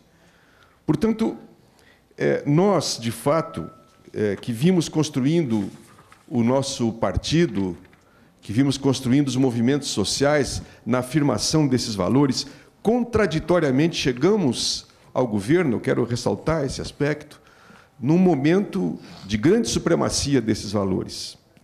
E aí que vem a grande questão que a gente se pergunta: o que aconteceu conosco nesse processo. Nós que lá atrás, no quinto encontro, com muita felicidade, tínhamos definido que a nossa estratégia era uma estratégia de maiorias, portanto, nós queríamos construir uma hegemonia com as maiorias, não éramos vanguarda, e não, e não optamos pela violência, como foi dito pelo Emir. O que, que nós fizemos para, estando no aparelho de Estado, reverter, não só federal, mas também nas prefeituras, no governo do Estado, o que nós fizemos objetivamente nessa perspectiva estratégica para reverter o domínio dessa narrativa e o domínio desses valores? Eu estou acentuando muito isso porque nesses tempos nós estamos vivendo esse drama. A sensação que eu tenho é que nós, de alguma forma, o tático massacrou o estratégico, ou seja, o consumo da nossa atenção, da nossa tensão dos nossos quadros e, de tudo aquilo que nós podíamos fazer se deu em administrar um aparelho de maneira competente, de maneira a produzir políticas que não são desprezíveis, pelo contrário, que mudaram a cara desse país. Mas nós, governo e partido, sem dúvida nenhuma, nesse tempo, abrimos mão de uma tarefa fundamental, que era exatamente esta a tarefa do debate, da qualificação das pessoas e da comunicação de massa, que essa sim poderia fazer um instrumento fundamental para essa tal de estratégia de maiorias, ou seja, de discussão dos nossos valores. Porque o Emir é, é, destacou bem, as nossas políticas são políticas solidárias. Quem anda por esse país afora, como nós temos andado, percebe isso, sente isso. Nós criamos, na prática, de fato, é, valores extraordinários, mas não conseguimos fazer, de fato, a batalha é, da, da narrativa. E mais do que isso, de alguma forma, a impressão que dá é que nós aceitamos esse status, o status desses valores, e fomos tragados por esses valores, porque não há vazio na política, mas também no debate ideológico e político. E nós vimos, inclusive, os nossos quadros serem tragados. Quando eu me insurjo contra a condenação desse ou daquele no partido, quando eu fui contra, e quero dizer publicamente isso aqui, que o Vacari abrisse mão da, da, da tesouraria do partido, é porque eu acho que o negócio não é esse. Não é com moralismo que nós vamos mudar essa, essa questão, e muito mesmo com a individualização de um problema que é coletivo, porque eu me pergunto, por que, que nós, em 2007, 2008, para dizer de um momento privilegiado na correlação de forças, por que, que nós não encaramos a reforma política? e não fizemos a luta contra o financiamento empresarial de campanha quando nós tínhamos maioria na Câmara e nos deputados. Por quê? Por que, que nós não trabalhamos de maneira diferenciada a toda a questão ética é, dentro do partido? Porque nós, de fato, fomos levados de alguma forma e tragados, quero insistir, coletivamente, por uma, um conjunto de valores é, dominantes, por uma por uma, uma estratégia de valores dominantes que foram nos, nos levando. Mas eu acho que nós não podemos ter uma, uma, uma visão agora apenas dessas dificuldades. Eu insisto a vocês, eu tenho andado bastante o país e tenho falado muito com a nossa militância. Eu quero dizer que, apesar disso tudo, remanesce, felizmente, e forte, no meio da nossa gente, uma resistência e uma prática desses valores positivos, socialistas, que sementes do socialismo que nós falamos aqui. E mais do que isso, resiste um desejo de combate. O que nós precisamos é justamente retomar aquilo que foi a nossa principal virtude, quando nós abrimos mão de transpor um modelo de socialismo externo à nossa história e construímos a nossa história e o nosso projeto a partir dessa combinação adequada entre luta e reflexão, sistematização da luta, no, na prática, na teoria e na prática. Ou seja, você, nós produzimos os nossos melhores momentos, melhores teses, as melhores políticas, construindo coletivamente.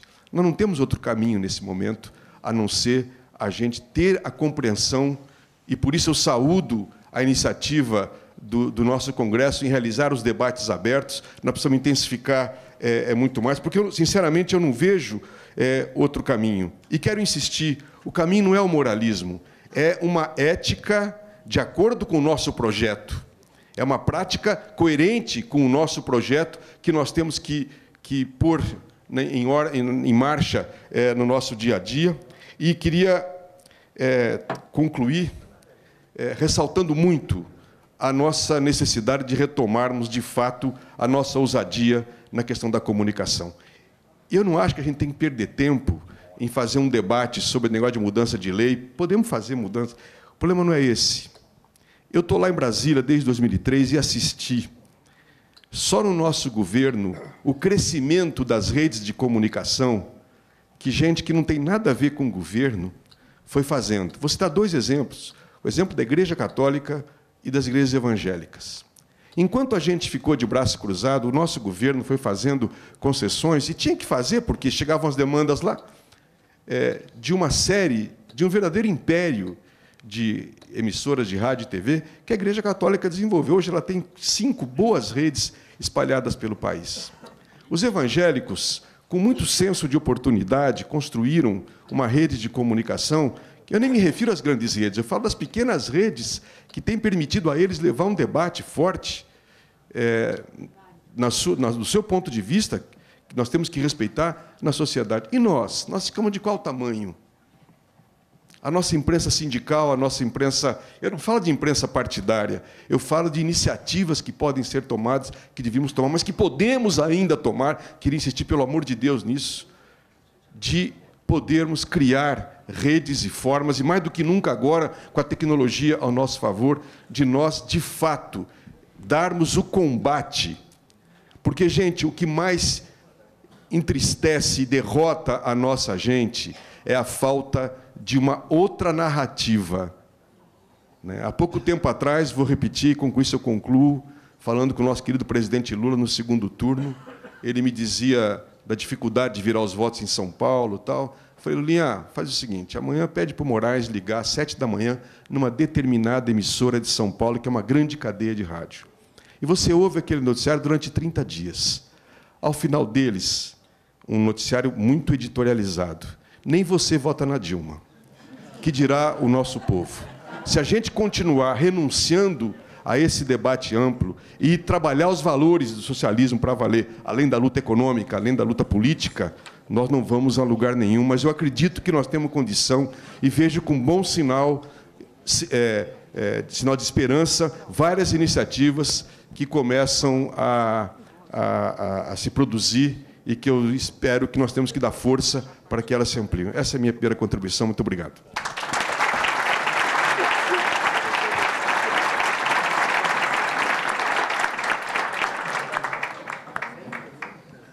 Olha, pessoal, eu acho que essa primeira fase serviu para a gente mostrar para todos nós percebermos o quanto o quanto o debate faz bem e o quanto a gente deveria debater mais. Porque esse esforço de reflexão, ainda que e o Gilberto e a Heloísa souberam fazer bem, a ideia, pessoal, a ideia de não debater conjuntura é exatamente ou, ou fazer como os dois fizeram, pegar da conjuntura para ir para o debate, sabe, do que nós precisamos chegar, de onde nós precisamos chegar. E eu acho que a contribuição de todos, junto com o Emílio e o Raul, é, foram muito importantes nesse momento. Pessoal, pensando aqui o seguinte, então, nós já temos aqui 10 inscritos, queria abrir também para outras pessoas que quiserem se inscrever. Nós não podemos ir além de umas. A ideia aqui é ter de 12 a 15 intervenções, de 3 minutos cada uma é, para depois a gente devolver para a mesa. As intervenções não precisam ser em formato de pergunta, pode ser em pergunta, pode ser de consideração ou de contribuição a esse debate que está sendo feito aqui. Então, eu queria falar dos inscritos aqui, eu vou falar todos, para ver se, o, se algum não foi anotado. Nós temos o nosso companheiro Padilha, ex-ministro da Saúde, ex-candidato a governador e atual secretário de Articulação Política. A Rosane Silva, da Executiva Nacional da CUT, o Toninho, secretário de combate ao racismo da Prefeitura de São Paulo, a Vera Soares, do Movimento Feminista, o Arthur Henrique, secretário do Trabalho, ex-presidente da CUT,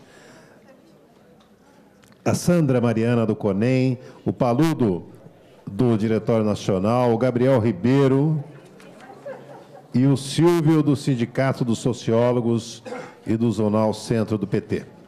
Então, eu vou pedir para quem for falar, vir até aqui à frente, para a câmera, o pessoal, vamos lembrar que nós temos aqui transmissão ao vivo e precisa ser falado daqui. Ok? Padilha.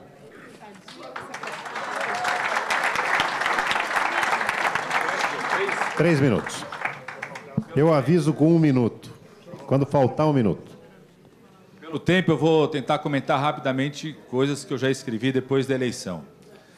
Acho que, primeiro, nós não podemos subestimar a necessidade do PT se juntar a outras forças de esquerda e forças progressistas para fazer qualquer debate tanto de formulação quanto ação na conjuntura. Eu digo isso por vários motivos. Primeiro, porque o debate que nós temos que fazer não é só agenda pós-liberal, né, pós-neoliberal, também é agenda pós os 15 anos da esquerda criativa na América Latina, que construiu vários avanços e que, para dar conta de formular de quais são os próximos avanços que nós vamos fazer pela frente, só o PT, sozinho, só nós, sem dialogar com outras forças, não damos conta dessa formulação. A rigor, desde quando o Lula assumiu a presidência, nós viemos formulando um projeto nacional de desenvolvimento para o país, não só com o PT sozinho.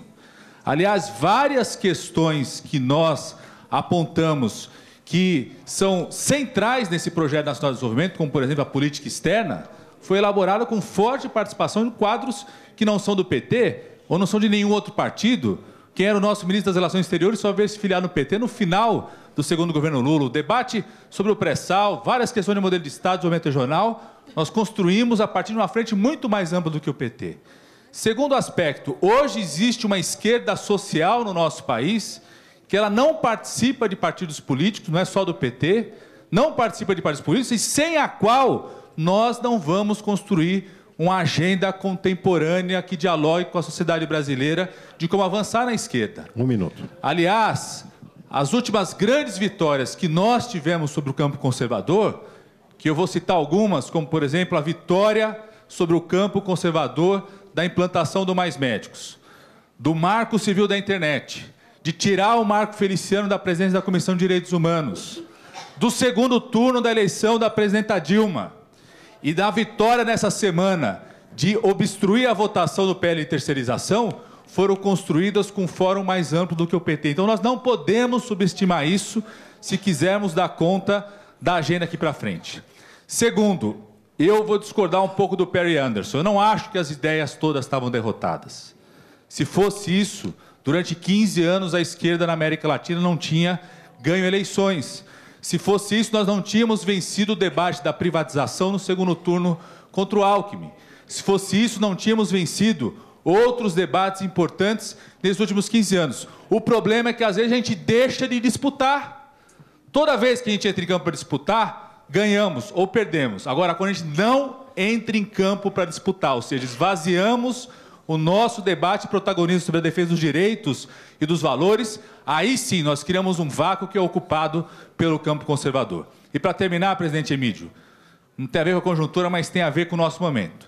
Eu acho que nós temos que sair à frente e dizer, independente de conquistar ou não a reforma política, que nós não vamos mais trabalhar com financiamento de empresas na nossa atividade política. E quero, quero falar aqui. Tem, temos vários companheiros da capital aqui. Vários companheiros da capital. É um absurdo a gente, com o tamanho de militantes que nós temos na capital, com a presença que nós temos hoje no governo municipal, com a força política de entidades sociais, o PT municipal está sofrendo a penúria que está sofrendo e o PT depender de participação, de financiamento de empresas privadas. Eu acho que nós temos. O Luiz Roque, é o tesoureiro do municipal, agradece. Tem uma barraquinha do Sassi lá fora. Eu acho que nós temos que assumir protagonismo sobre isso, de como enfrentar, enquanto militantes do PT, o financiamento do PT. Obrigado, desculpa pelo tempo. Obrigado, Padilha. Quero estender a penúria, a penúria que o Padilha serviria ao diretório estadual também. É, a companheira Rosane Silva, da Executiva Nacional da CUT. Depois já se prepara o Toninho, secretário de Combate ao Racismo. Uma boa noite às companheiras, os companheiros. É, queria iniciar é, falando um pouco sobre isso que o Emir falou, que eu acho que me encontrei muito na fala do Emir, especialmente nesse debate sobre os valores. É, a gente governa nosso país né, há já 15 anos, e se a gente for olhar, realmente nós não disputamos a consciência do povo brasileiro, para elevar a consciência do povo brasileiro. Acho que esse é um dos grandes debates que a gente tem que fazer nesse processo aí que a gente vai viver do nosso Congresso. É como é que a gente disputa esses valores na sociedade. Do, da gente se reencontrar com os valores socialistas. Que, na minha opinião, o nosso partido é, acho que acabou se deixando levar pela, pela ordem, né, de que nós somos governo do país e, claro, nós temos uma responsabilidade muito forte sobre isso que nós somos o governo do nosso país. Agora nós não somos governo sozinho, nós vemos um governo de coalizão. E eu acho que é fundamental que o nosso partido se reencontre com a sua militância. Nós vivemos essa semana, e aí, Gilberto, pode ser uma semana difícil, mas também uma semana desafiadora. E nós, da CUT, acho que estamos cumprindo com o nosso papel, porque a CUT é a ousadia de fazer a disputa no 13 de março. Quando vários militantes do nosso partido, de referência do nosso partido, diziam que nós estávamos errados. E nós mostramos que nós estávamos certos em fazer a disputa na sociedade. O, o, a CUT acertou de novo ontem, quando chamou a paralisação nacional. E aí, Padilha, ontem só obstruiu na Câmara dos Deputados, porque teve luta de rua. Porque se não tivesse povo na rua fazendo a disputa, eles iam passar o trator em nós. Então é isso que o partido tem que fazer. O partido tem que se reencontrar com a sua militância. Tem que fazer a disputa política no país. Nós não podemos ser um partido de gabinete. Nós temos que dialogar com o povo, nós temos que dialogar com a nossa militância. E a gente só vai fazer isso se reencontrando com a sua militância. A militância do partido está mostrando, e a gente está vivendo isso porque estamos no movimento sindical, que a nossa militância quer fazer luta política, que a nossa militância quer fazer o enfrentamento político re, se reencontrando com seus valores, que levou um a gente disputar 89, que levou a gente disputar todas as eleições e ganhar em 2013. Então, acho que essa é a grande tarefa nossa. E aí concordo com o Padilha e com outros que nós temos uma grande tarefa de reunificar a esquerda no nosso país em cima de um projeto político que o PT tem sim a responsabilidade de fazer essa disputa na sociedade, o que nos impede que a nossa bancada do PT, independente do nosso governo, e temos um compromisso com isso, mas o que, que impede a bancada do PT fazer uma luta dentro da Câmara Federal pela taxação das grandes fortunas e da herança no nosso país? O que impede o nosso partido a apresentar um, um projeto completo de reforma política, que o financiamento, não o financiamento empresarial, é muito importante, mas só isso não basta. Nós queremos não financiamento empresarial, nós queremos listas fechadas com alternância de sexo, o que impede o nosso partido a fazer essa disputa na sociedade.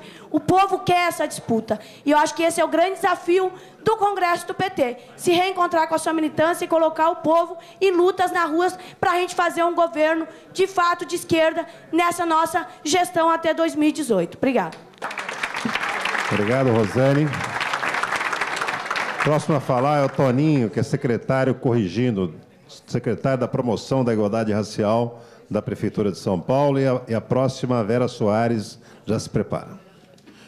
Bom, boa noite a todos, boa noite a todas. Eu queria fazer, primeiro, ousar é, expressar minha opinião aqui diante das nossas lideranças, dos nossos intelectuais tradicionais e importantes na construção dessa nossa história política mas eu queria fazer uma reflexão a partir da conjuntura.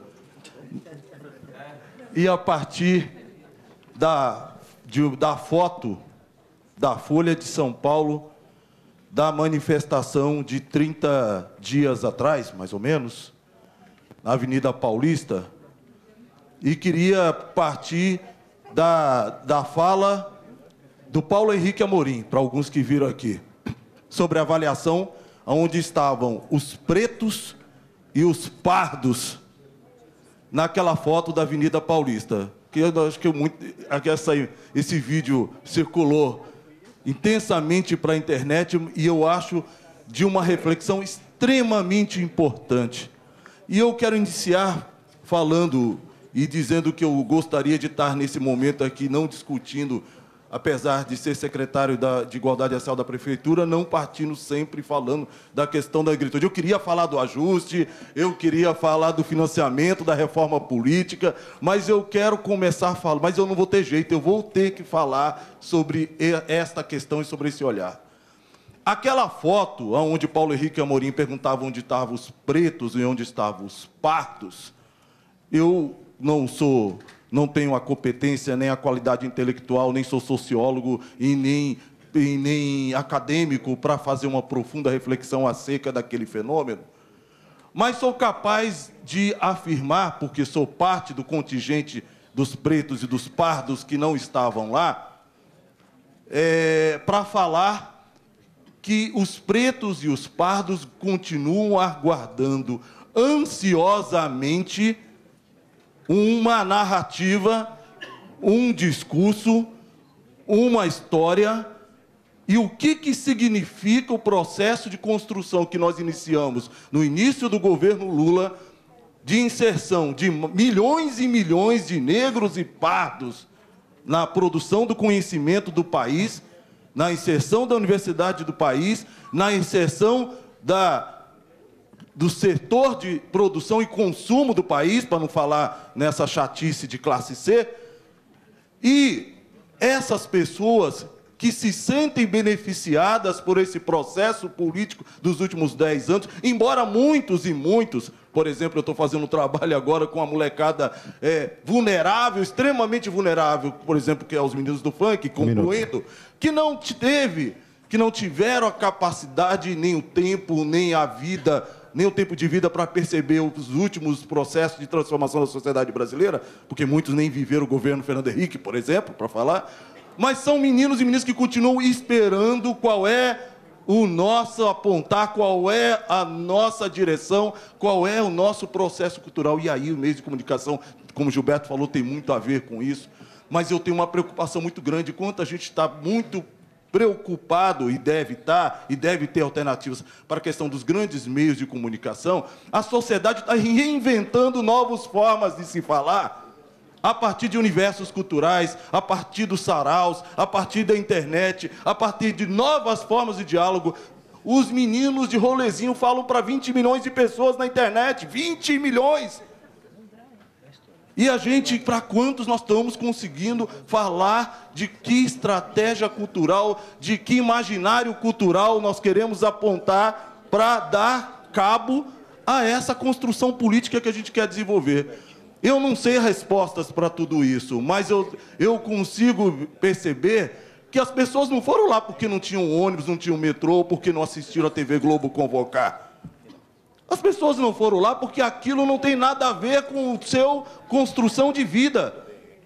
Embora o que eles estão enxergando da nossa desenrolar, do nosso desempenho, concluindo, não consegue, não ainda não consegue apontar o link de ligação do nosso processo de construção política com a real condição e situação do exército de negros e pardos que compõem a sociedade brasileira.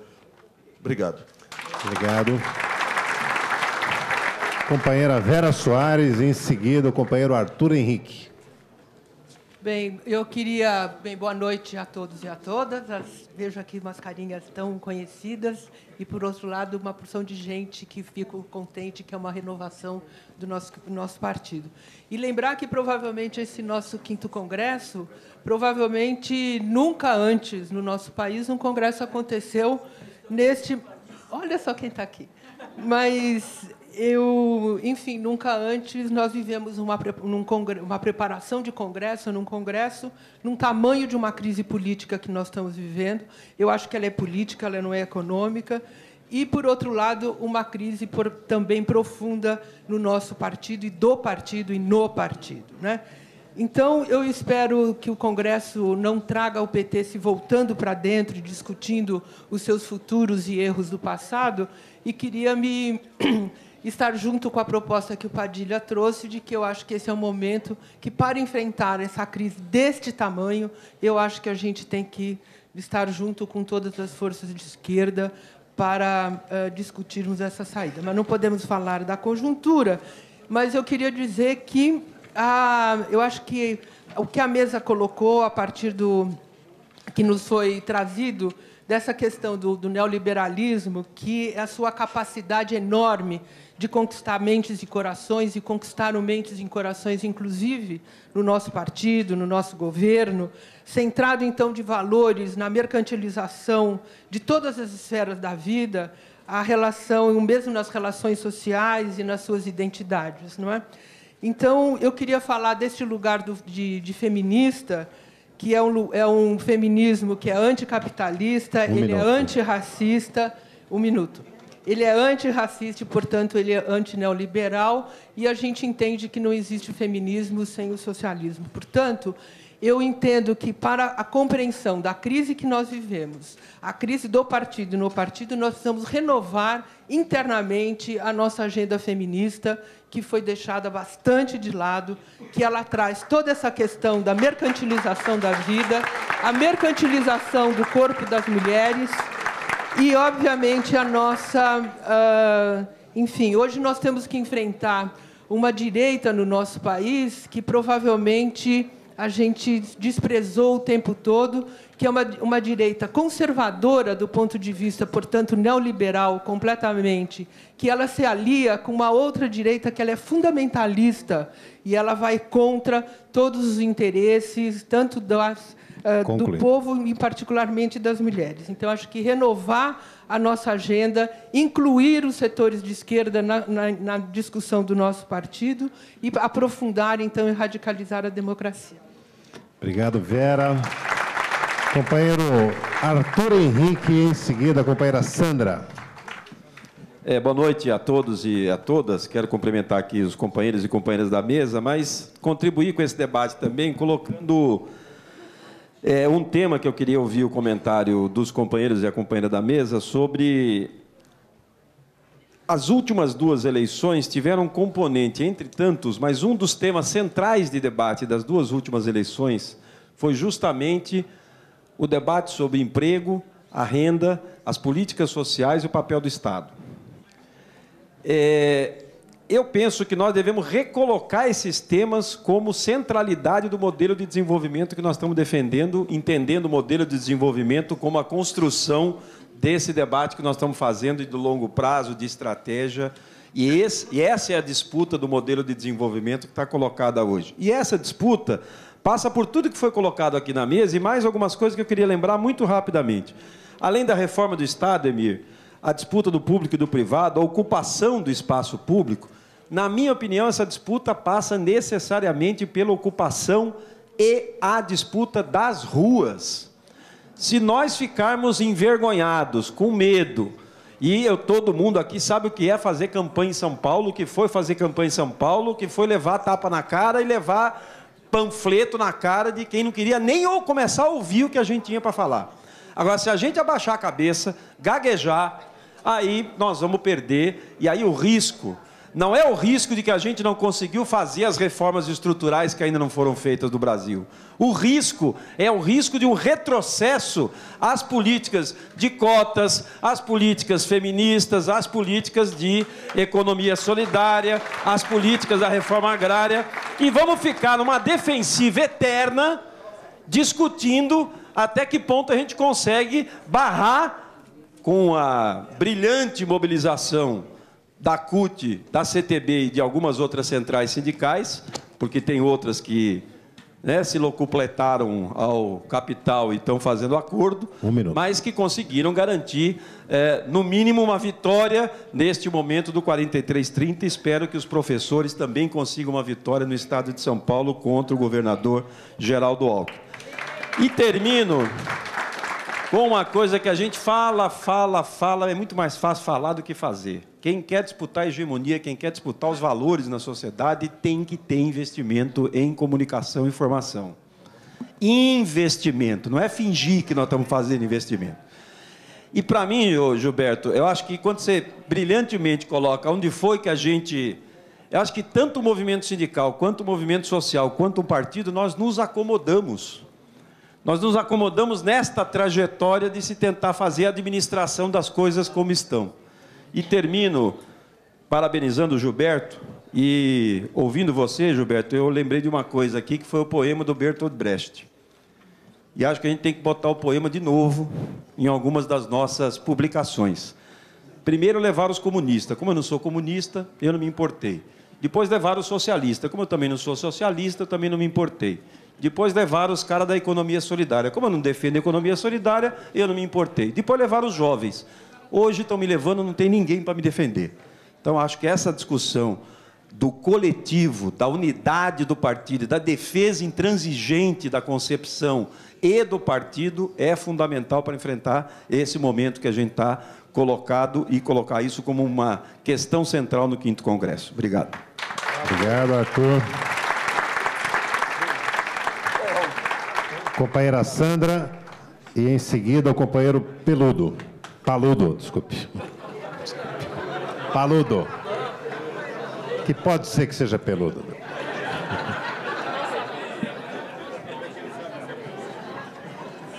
Boa noite a todas e a todos. Eu queria fazer uma reflexão com o Emir, quando ele fala que nós somos cidadãos de direito e não de oportunidade. Mas lembrar que nós, negros e negros, para termos um espaço nessa sociedade brasileira, nós tivemos que ir à luta. E essa luta, ela se transformou, logicamente, em oportunidades. Não foi à toa que nós temos as cotas, nós temos o Estatuto da Igualdade Racial, nós temos o Plano Nacional. Sandra, só um minutinho. Pessoal, silêncio, por favor, para a gente poder prestar atenção aqui. O Plano Nacional de Saúde da População Negra, que foram oportunidades, sim, mas através de luta, que nós conseguimos no governo Lula e no governo Dilma.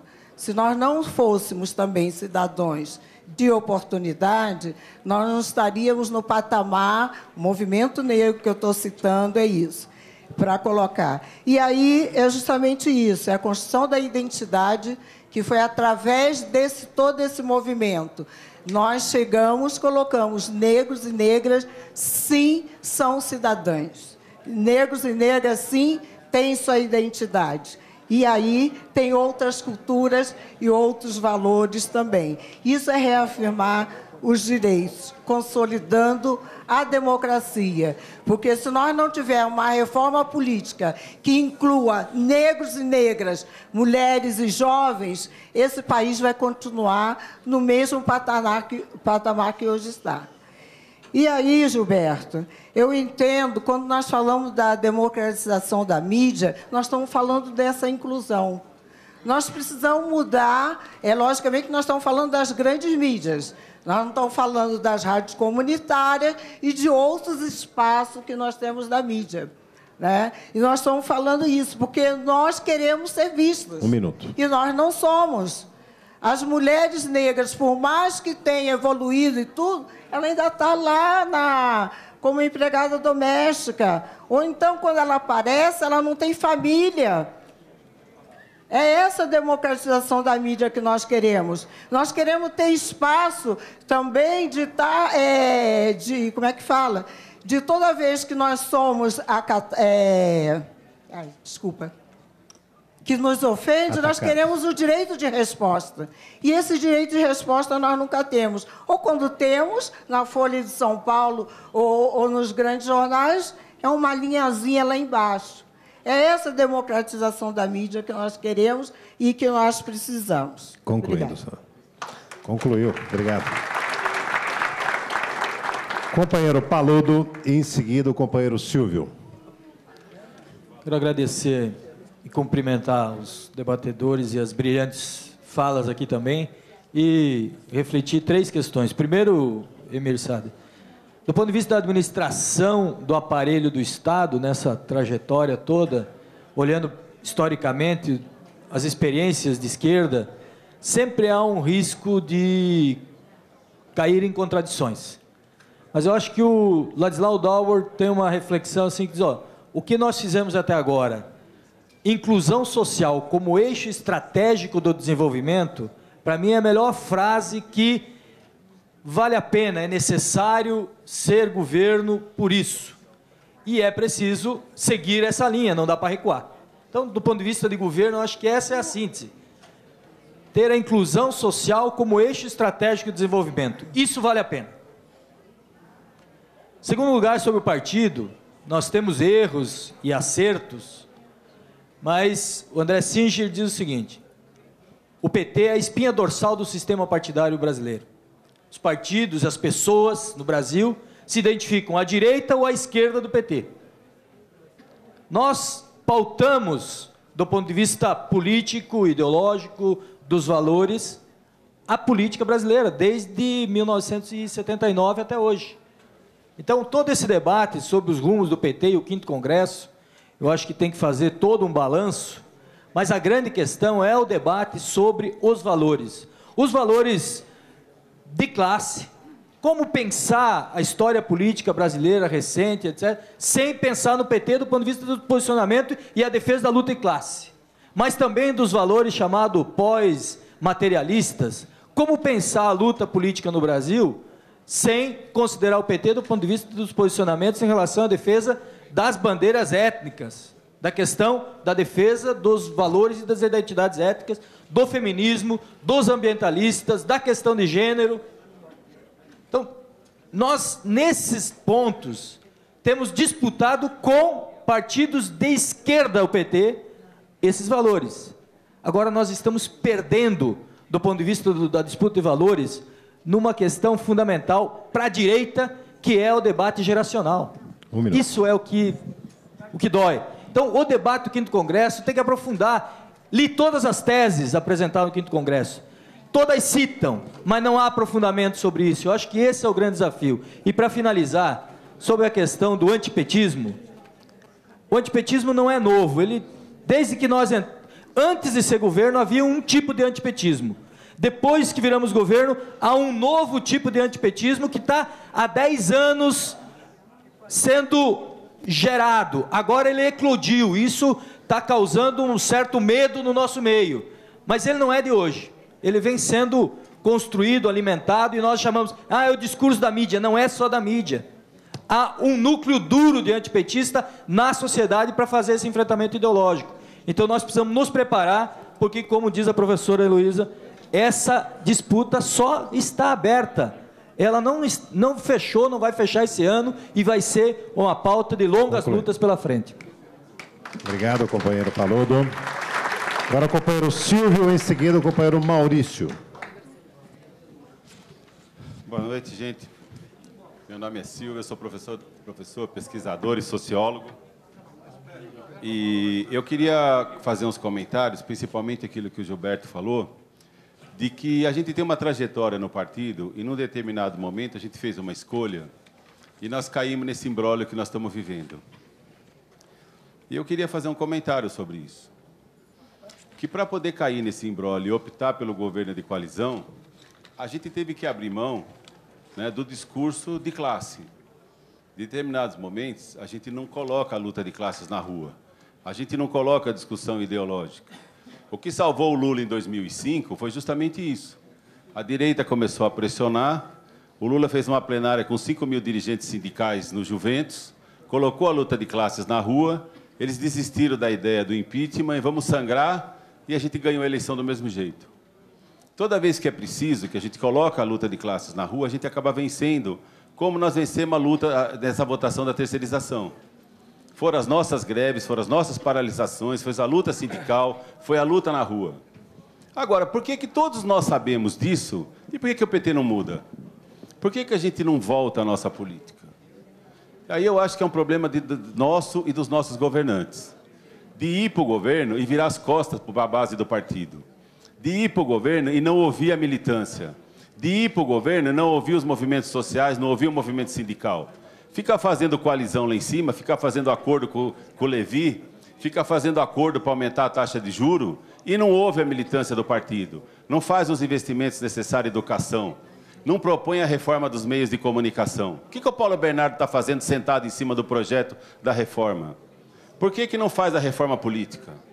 Vai ser lamentável a gente terminar o nosso governo sem a reforma política. Um minuto. Porque nós estamos indo para o matadouro, nós estamos sacrificando os nossos principais dirigentes, e se a gente não fizer a reforma política e uma hora a direita ganha a eleição, não mudou nada esse país. Eles vão passar régua em tudo que a gente fez e tudo vai continuar igual. Essa história que o Brasil está tá maduro, está amadurecido, que a democracia. Isso é papo. Isso só serve para a direita dizer: nós estamos tão amadurecidos que tanto faz você votar no Aécio ou na Dilma. O país vai continuar democrático. Isso não é verdade. Se eles tivessem ganho, eles passavam a regra e faziam tudo o que queria. Vendia o petróleo para o imperialismo, acabava com os projetos de educação, acabava com a ideia de reforma agrária e a estrutura política que nós temos vai continuar igual sem a reforma. Concluído. Por que, que os nossos governantes não ouvem a base? O que, que acontece quando chega no governo que vão os mais conservadores e os mais banana dos nossos militantes para lá? O que, que faz o Paulo Bernardo lá? O que, que faz aquele ministro da Justiça? O que que faz o Cardoso? Pô, eu conheci o Cardoso, era um grande militante, estudava na PUC junto comigo, hoje não faz nada. O que que acontece com essa gente? Você consegue explicar Concluindo. isso para nós? Obrigado. Companheiro Maurício. Companheiro Maurício do Zonal Centro, em seguida, em seguida o companheiro Gabriel Ribeiro. Boa noite, companheiro. Só uma pequena correção, é Maurílio. É Maurílio, desculpe, Bom, gente, Maurílio. Sem problema. Ok. Bom, gente, eu quero fazer um pequeno contraponto, sem desmerecer a autocrítica que está sendo muito proveitosa. E seguindo um pouco a linha aí do tema, neoliberalismo, pós-ne- pós-neoliberalismo e desafios da construção do socialismo, em cima dessa linha eu vou falar um pouco da minha pequena, extremamente humilde trajetória como militante. Eu vim das cadeiras da onde o professor lecionou muito tempo, lá da é, Ciências Humanas da USP, e naquela época eu e a maioria né, dos que estavam e de certa forma dos que, ainda estão por lá não eram assim na sua maioria petistas, embora todos nós votássemos, mas na grande maioria tendíamos mais para os movimentos mais à esquerda. Eis que quando e- e, enfim estávamos lá né no tomando borrachada contra a privatização da Vale contra o movimento do, do FMI Banco Mundial enfim dando a cara para bater contra o neoliberalismo e ninguém ou muitos poucos obviamente acreditavam que o PT quando viesse para o poder se é que viria um dia isso já foi incrivelmente interessante para a minha geração ninguém acreditava que fosse promover as, as reformas que fez, né? Bom, Lula venceu em 2002, né, assumiu em 2003 e começa uma sucessão de reformas de cunho social que eu vou chamar de revolução social, o qual possibilitou a ascensão de 100 milhões de brasileiros, né? Primeiro, 50 milhões beneficiados diretos do Bolsa Família, né, que são 13 milhões de beneficiados, mas entre as crianças e tal, então chegou-se essa, essa cifra, saindo da extrema miséria, e depois mais 50 milhões, ou conjuntamente, que aderiu a essa nova classe média. Alguém da minha geração esperava que o PT fosse trazer ascensão para 100 milhões de brasileiros? Eu não. Depois, ou novamente concomitante, criou-se aí as cotas, o ProUni. Né? Hoje em dia, nas universidades federais, nós temos quase 90 mil alunos cotistas e nenhuma única vaga na USP. Então, nós temos uma USP de cotistas. Eu acreditava que isso ia acontecer? Eu não acreditava. E ninguém dos meus colegas acreditasse. Então, o contraponto que eu faço Um é minuto. isso.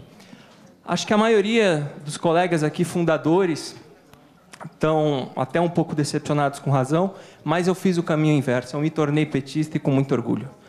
Bom, é...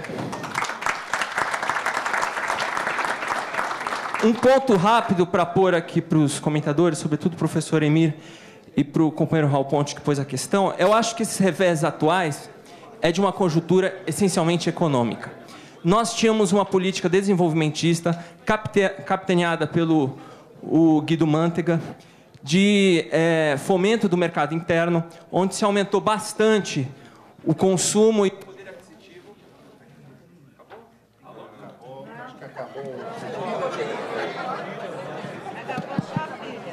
Essa política desenvolvimentista teve seu auge com 7,5% de crescimento de desenvolvimento econômico no último ano do, do segundo mandato do governo Lula e, sem dúvida, que trouxe a eleição de Dilma. Ocorre que, de lá para cá, essa política desenvolvimentista ela vem enfraquecendo, desacelerando, até que chegamos nos dias atuais, onde o crescimento, a projeção é negativa e o desemprego, que em 12 anos tinha, realmente começa a aparecer. Então a questão maior é: Alguém aqui tem um plano melhor do que o da Dilma?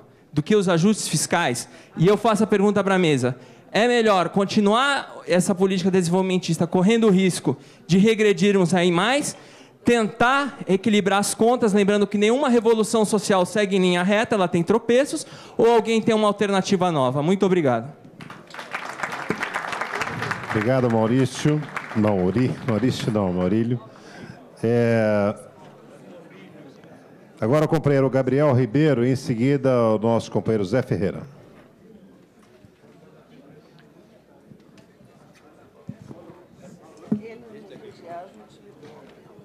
Oi. Tá indo?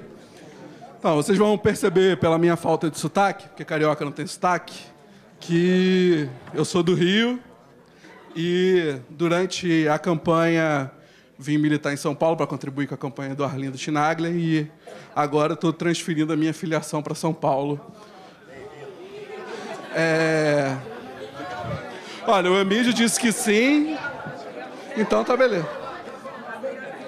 É, bom, a primeira coisa que eu queria que eu queria por favor, nesse debate sobre é, neoliberalismo, a primeira coisa é a seguinte: qual era a nossa tática durante o período neoliberal do governo FHC?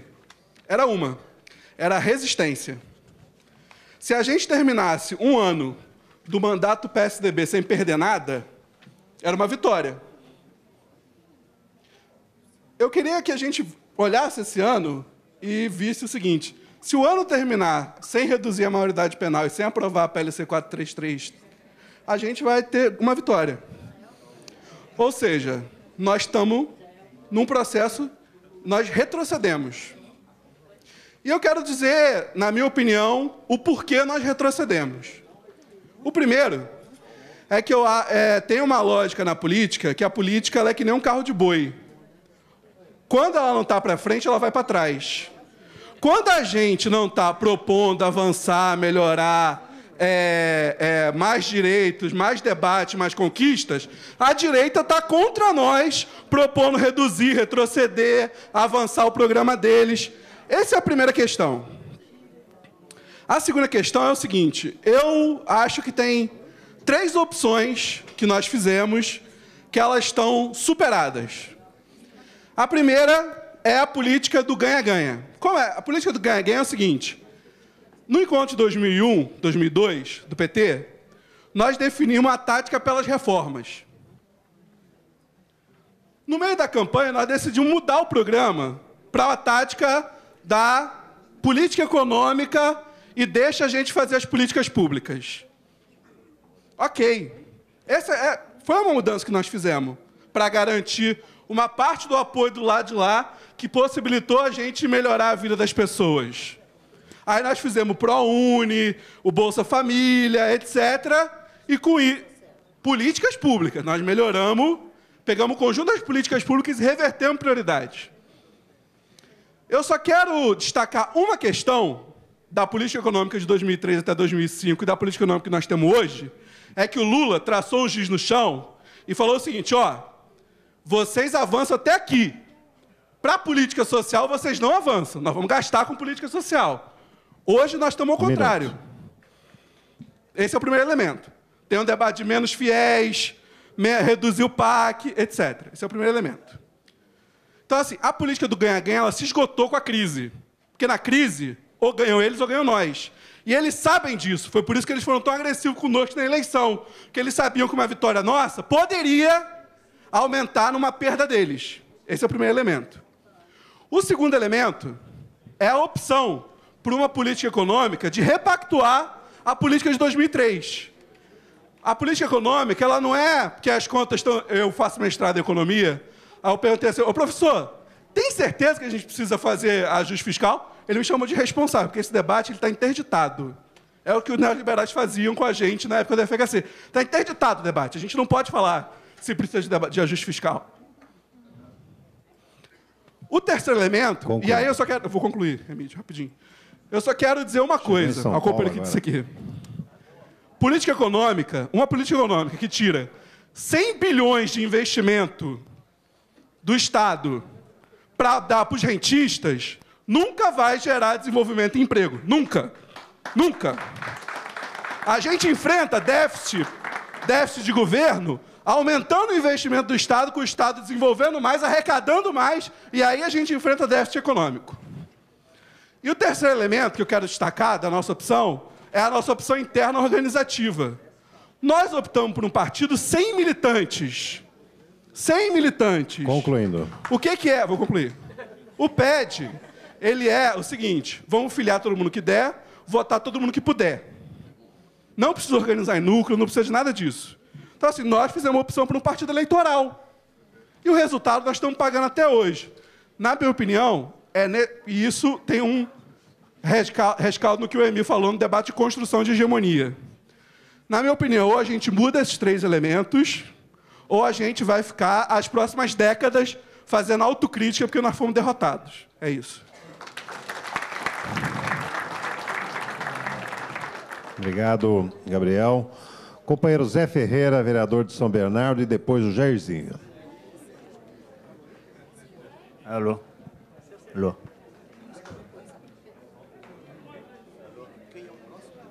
Um tá ruim, outro tá pior. Boa noite a todos os companheiros e companheiras. Nosso presidente Emílio, em nome da Heloísa, que é a única companheira na mesa, também da Telma, que é minha colega desde 82, que fomos eleitos na mesma época. Eu continuo. Pois é. E a Rosane Sena Zanin, que é vice-presidente do PT de São Paulo, cumprimentar todas as companheiras mulheres. Aqui, acho que, lógico que o tempo é pouco, mas é o momento da gente rever vários amigos daquela época, né, Rubim? E, e desabafar. Na verdade, o Gilberto, né, muito importante a fala é do, do Raul, do Emi, do, da minha. É mineira mesmo, né? Da minha conterrânea, mineira, Gilberto. Mas.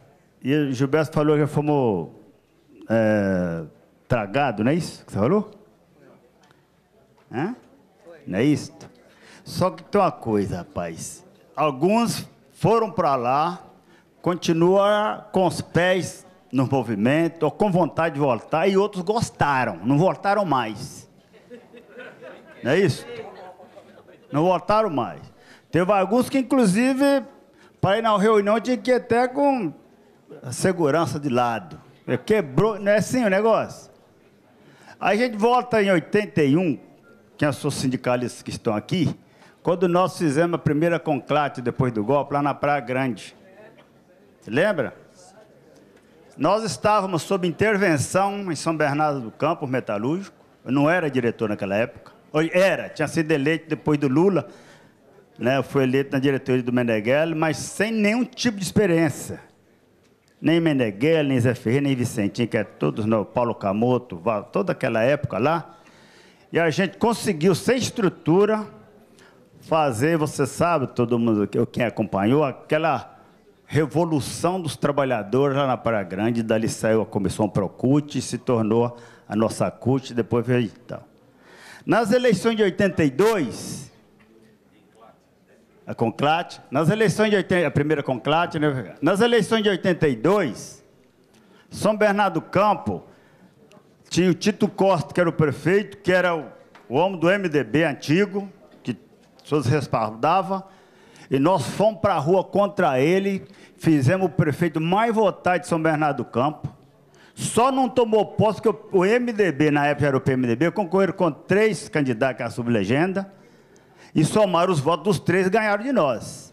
Num colegiado de 19, de 19 vereadores, nós fizemos sete, fazendo com que resto de gráfica.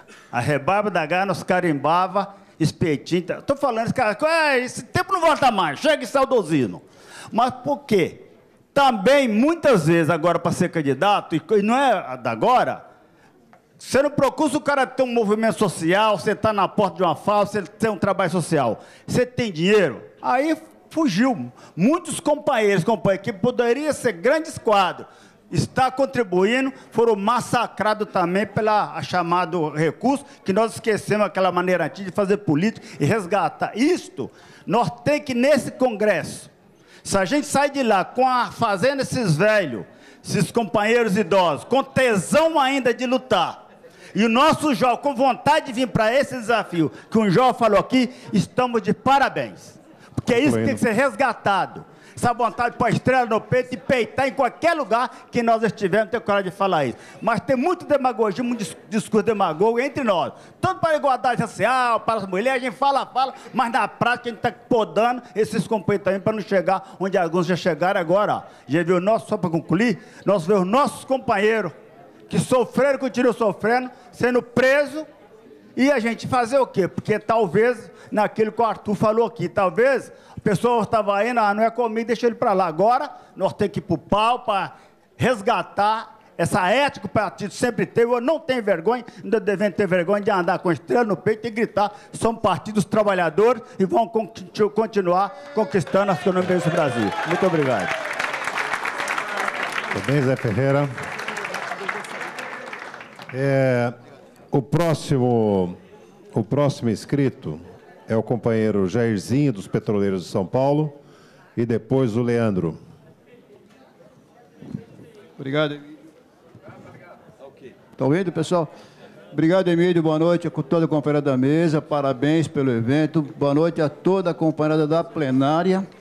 E vou começar aqui falando da petróleo, bem rapidinho, que estava sucateada na virada do século tem hoje 10, mais, 10 vezes mais o faturamento dos anos 90, que é a maior empresa de capital aberto do mundo, foi a empresa que menos perdeu patrimônio entre todas as empresas de petróleo e a que mais investiu. E está falida. Ok? Temos que continuar a defender a Petrobras e, no máximo, o regime de partilha, porque, no meu entendimento, no meu entendimento, não tem que ter nem a flexão dos postos. Bom, vamos lá. Alianças, companheirado. Nós temos alianças para quê? Para ajudar a aprovar os projetos que nós queremos. Se não temos o apoio do projeto, qual a possibilidade de por que não romper? Tirar os ministros que são da, da, da aliança, que é a direita, e botar o pessoal nosso para tocar isso daí. Segundo ponto, patrocínio, comunicação, Gilberto. Gilberto fez a pergunta: o que fizemos? E Gilberto respondeu: não fizemos. E não fizemos mesmo.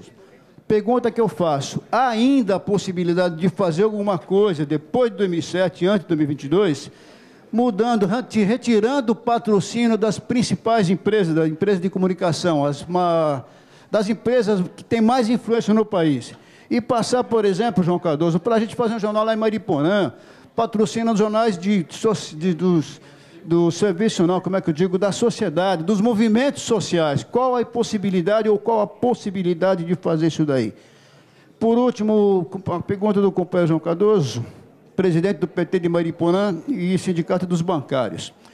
Como construir o socialismo sem que haja, de fato, um enfrentamento com os meios de comunicação. Eu vou deixar com você, Mídia, ok?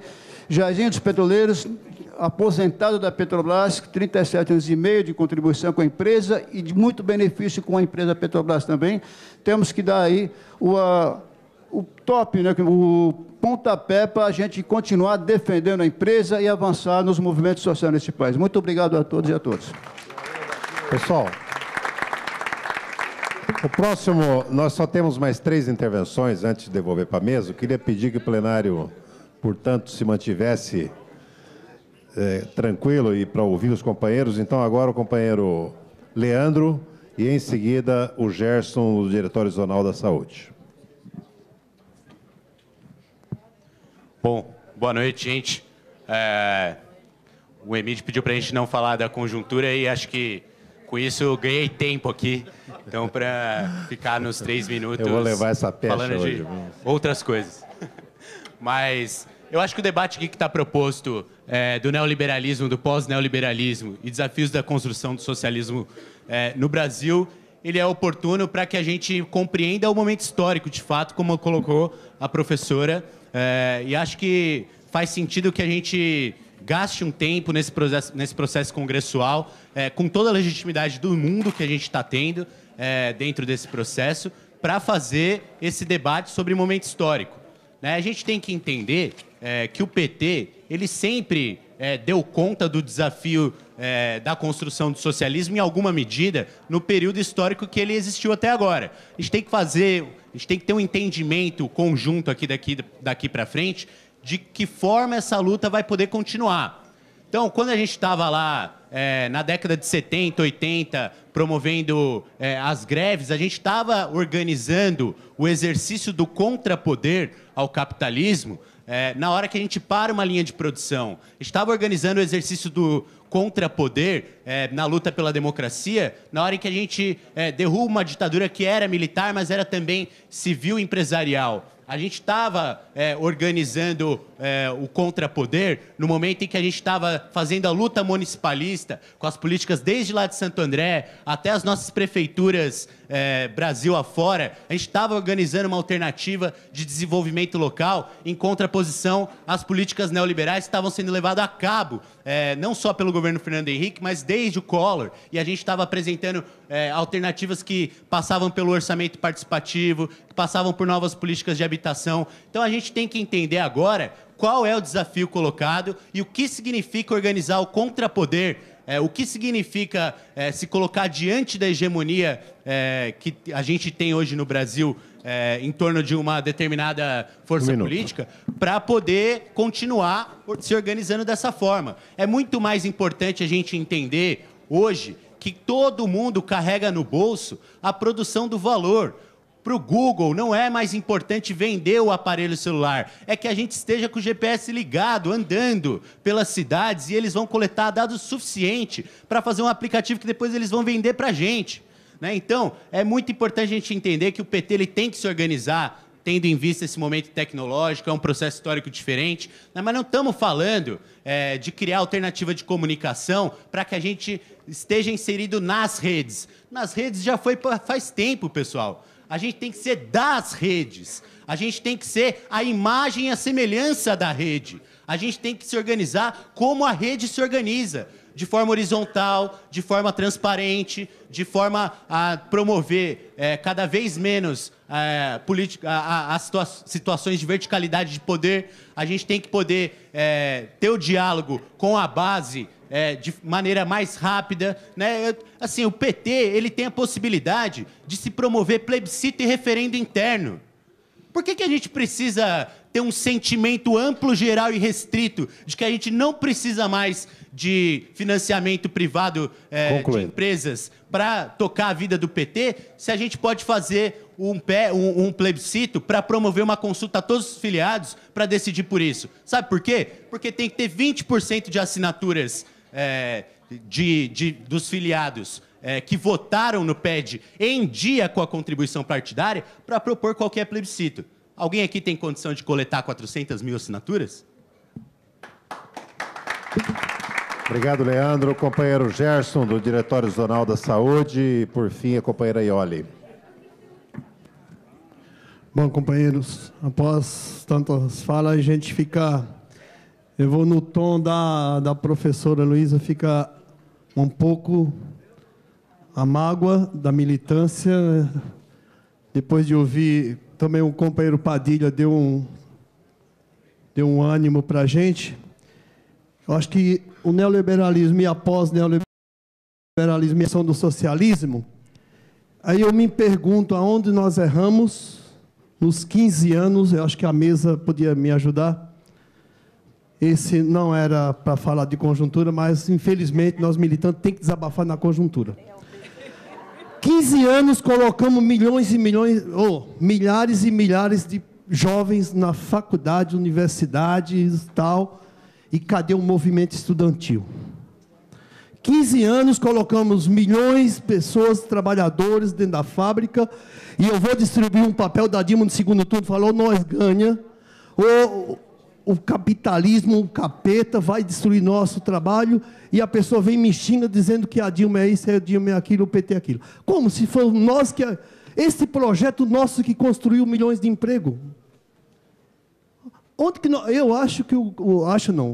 o companheiro Gilberto Carvalho deu, uh, e o Padilha colocou, sabe, a, o, o pingo no i. A comunicação nossa. E o Lula colocou isso no debate do, do, do chamamento para nós ganhar o segundo turno da Dilma, quando disse, companheiro Emílio, vamos chamar a militância e os, e os companheiros comissionados, principalmente os comissionados, a vestir a camisa vermelha em vez de usar o tapete vermelho. Eu acho que faltou isso nas universidades. Eu tive um, um debate muito forte lá, o companheiro Rubinho, que é de lá do, do, do, do Ipiranga e do Parque Bristo, um cara veio passando na rua, ele me chama de ladrão. Eu falei, oxe, como assim? Não, vem cá, o petista não está preso ainda. Eu falei, olha, bicho, a operação da Polícia Federal é nossa. E eu tenho orgulho desse partido porque é nós que estamos combatendo a corrupção. Eu acho que não dá para o quinto congresso um não deixar de lado de comunicar como nós tratamos essa questão da, da ética interna e externa também, a questão da moralização pública.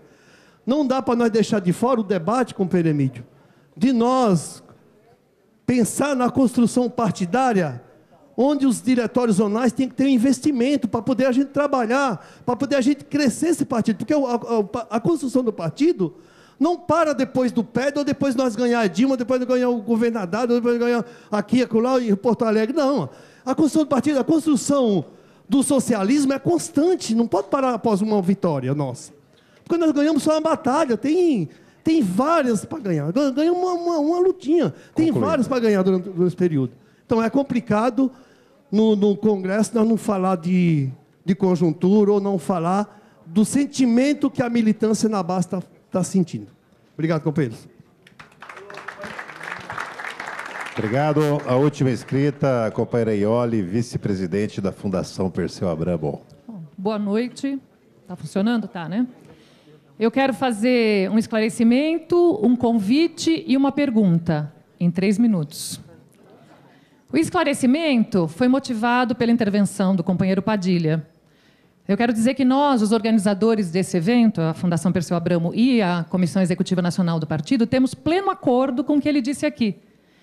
Tanto assim que foi dessa forma que pensamos esse debate. Então, primeiro, é, já foi dito aqui na mesa de abertura que serão cinco debates nacionais.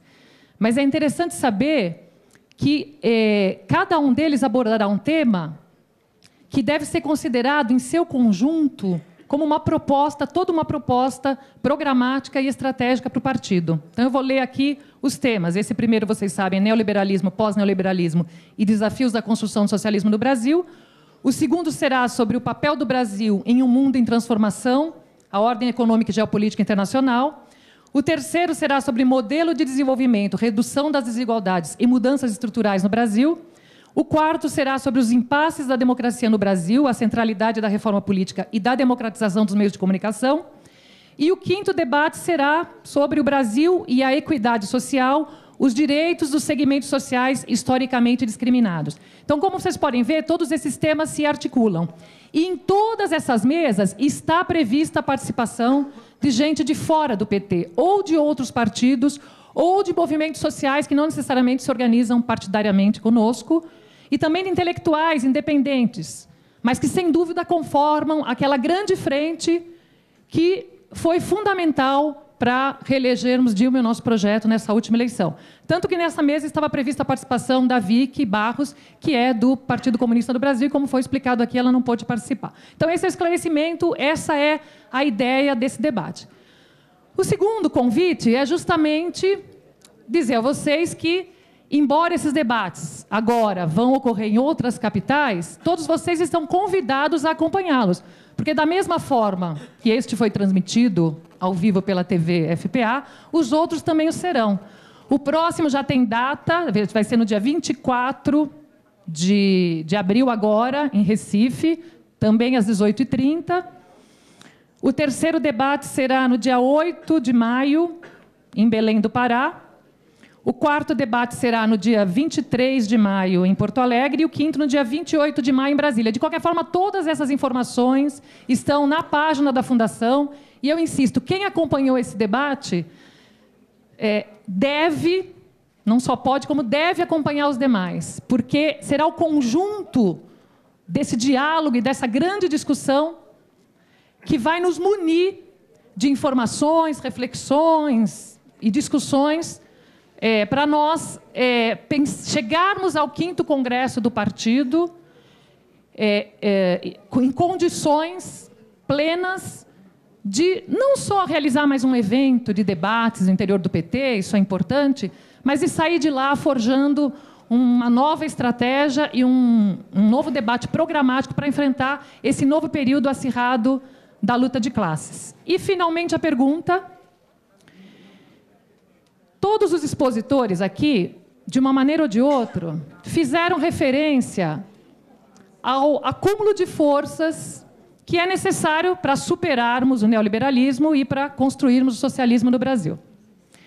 O acúmulo de forças tem uma dimensão bastante apontada aqui, que é da disputa de valores, da disputa de hegemonia, né, da disputa ideológica. Mas, como sabemos, essa disputa não se dá de maneira abstrata. Ela se relaciona diretamente com condições objetivas, estruturais. Ela se relaciona diretamente com aquilo que também apontaram os expositores. Concluindo. E que eu vou chamar aqui de uma. É, para dialogar com o que disse o Emir, com uma democratização da riqueza e do poder. Uma democratização efetiva da riqueza e do poder. Ou uma transferência da riqueza e do poder da esfera do mercado para a esfera pública. Ou, se quisermos colocar em termos classistas, das forças do capital para as forças do trabalho. Bom, acúmulo de forças pressupõe estratégia, como bem disse o Raul. Então a pergunta é muito simples. Que estratégia deve o partido adotar? Que estratégia de acúmulo de forças deve o partido adotar para enfrentar esse momento? Porque parece que foi aí que nós falhamos,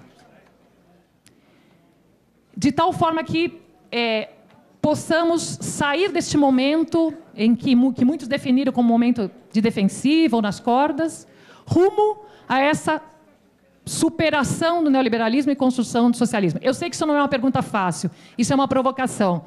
Mas é só para lembrar, para terminar, é só para lembrar que esse debate é central e que nós não podemos contorná-lo, nós temos que enfrentá-lo, porque ou nós debatemos a estratégia de acúmulo de forças, ou nós não saímos da posição que estamos atualmente. Obrigada. Obrigado, Ioli. Fala, pessoal. A Ioli era a última, mas o nosso querido Sérgio Mamberti pediu inscrição. Por fim, eu vou fazer um. Eu vou fazer um. Eu preciso dizer aqui. Como nós tivemos que gravar agora as inserções do PT estadual na TV, e nós não tínhamos dinheiro, ele, ele ajudou de forma militante a gravar uma inserção no final das contas, no, no final dos comerciais, que foi bem interessante, que ele, ele, no final ele aparece com a cara de bonachão, dizendo assim, você sabe que no final das contas é com o PT que você pode confiar. Então vai lá.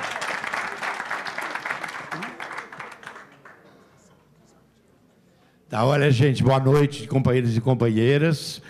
É, fiquei muito feliz de vocês estarem próximos aqui do meu local de trabalho. Eu estou estreando uma peça aqui é, no dia 23. É, no dia 22 de abril, eu faço 76 anos.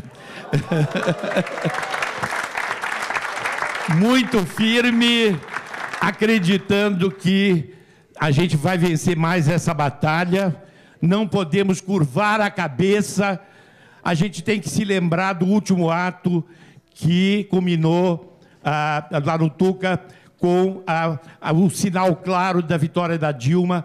Terminamos o ano com 42% de aprovação da nossa presidenta.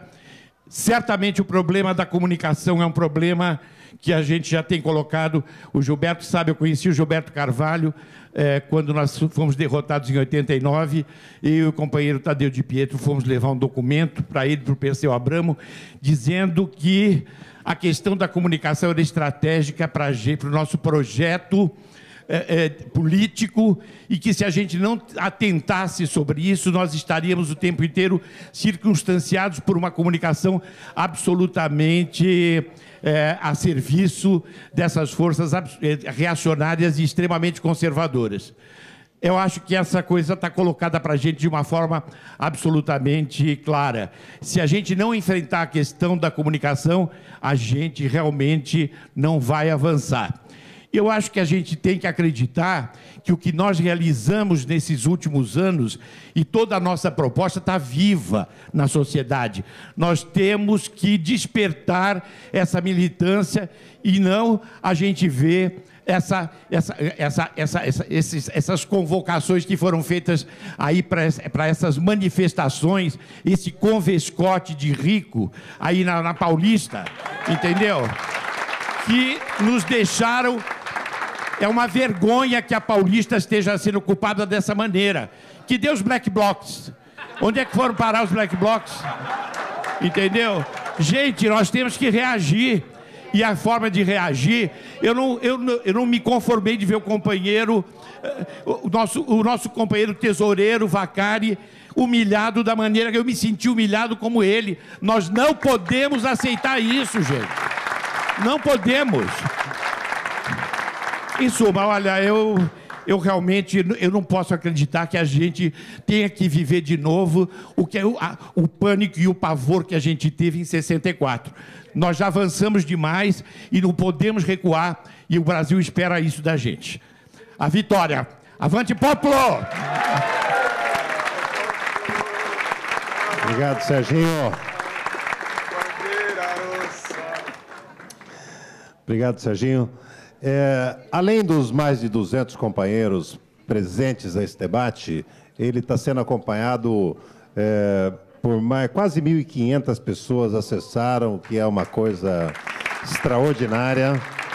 E eu vou devolver, devolver a palavra agora para o companheiro Gilberto Carvalho para fazer ao contrário do que fizemos e eu vou dividir aqui mais ou menos daí 5 a 7 minutos cada um para a gente encerrar às 22 horas, como está prometido, e dizer que né, eu acho que as intervenções foram por demais ricas é, e, e, todas centradas num te, em temas muito que eu acho que vale a pena. A mesa já tinha exposto essas questões, mas vale a pena colocá-las de novo. Né? E nessa questão de que as mudanças as mudanças que nós propusemos ao país não podem ser apenas baseadas no que o orçamento suporta, mas é preciso mexer nas estruturas e isso é uma coisa fundamental. Na hora que o orçamento entra em crise, na hora que cai a arrecadação, a gente não consegue sustentar as políticas públicas. Então, as mudanças que nós fizemos melhoraram a vida dos pobres, mas também não tiraram nada dos ricos até aqui.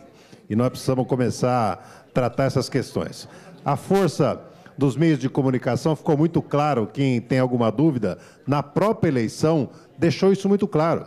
Ou seja, no momento que nós pudemos falar ao país, que a presidenta Dilma pôde falar ao país, sabe, no horário eleitoral gratuito, e pôde dizer, sabe, sem, sem a. Sem a, quer dizer, não foi dado ao direito só deles falar, nós pudemos falar o que estava sendo feito e o que nós nos, nos propunhamos ainda, nós, nesse momento, foi o momento que levou a aprovação do governo e ela sustentou e acabou vencendo as eleições. Então, essa força dos meios de comunicação, que foi vital, a força de poder falar nos meios de comunicação foi vital. O que demonstra que essa questão dos meios de comunicação é vital para a gente poder fazer a disputa de hegemonia eh, de maneira correta no país.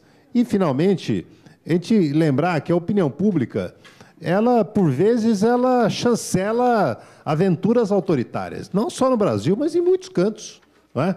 Vamos lembrar que os americanos, depois do, do 11 de setembro, os estadunidenses, depois do 11 de setembro, eles é, toleraram e apoiaram a tortura para obter confissões. Né? Então nós precisamos lembrar desse tipo de coisa, de como a manipulação dos meios de comunicação pode levar a alterar o humor da própria opinião pública, que também está acontecendo no Brasil.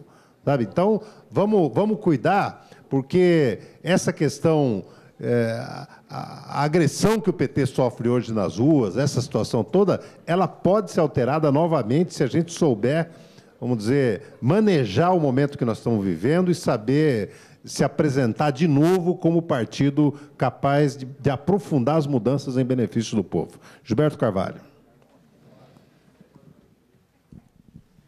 Obrigado. Eu vou ser, tentar ser rápido, porque acho que temos que dar mais tempo ao Emir para que ele possa fazer o fechamento. Eu só queria, primeiro, agradecer muito todos os que falaram. É impressionante como é bom ouvir, ver os pontos de vista. Eu queria destacar é, duas coisas, ou três rápidas. Primeiro, porque eu acho que a fala do Maurílio, pelo impacto que ela teve, e agora do Serginho, e a presença do Serginho é muito importante para a gente aqui, junto com o Américo, o Carlinhos estava aí também, toda a área cultural, heróica. Mas eu acho que a fala deles nos fala uma coisa muito importante, que é a gente fazer a afirmação do nosso projeto. Porque o pior que pode acontecer é a gente aceitar o que eles estão tentando fazer, a gente aceitar de que nós somos bandidos, de que nós não fizemos nada, de que nós somos ladrões, assim por diante. Hoje, quando eu peguei o táxi, lá no aeroporto, o, começamos a conversar, o cara falou, é, mas essa Dilma aí também roubou pra caramba tal. Eu confesso a vocês que me deu um desânimo. Eu falei, sabe de uma coisa, vou ficar quieto, vou falar de futebol com esse cara, porque senão... Mas daí eu falei, não, peraí, não dá. Aí comecei a falar com o companheiro tal, explicar tal, parará. no final foi bom. Então nós não podemos falar de futebol, não. Temos que falar, claro, mas temos que enfrentar. E acho que isso que o Maurílio nos ensina, que o Serginho nos ensina. Nós temos que ter orgulho de sermos do nosso partido, do, da nossa frente, do projeto que nós estamos construindo nesse país e manter a cabeça não só erguida, mas aumentar a nossa voz. Quando a gente falou de comunicação aqui, é porque é importante que as pessoas tenham, de fato, a informação democrática. Os meios de comunicação não são invencíveis. A companheira Gisele acabou de me informar aqui que a Folha demitiu 50 pessoas essa semana, o Estadão 100 e hoje a Veja demitiu mais, 100, mais 50 jornalistas. Isso mostra que o lado de lá também não está tão forte assim, entre outras crises que eles estão vivendo, e que nós temos condição e necessidade de fazer a nossa voz ser ampliada para a maioria. Mas eu queria focar mesmo é na fala do Padilha daquele, daquela questão da necessidade de uma frente e da esquerda social. Eu acho que isso é muito importante.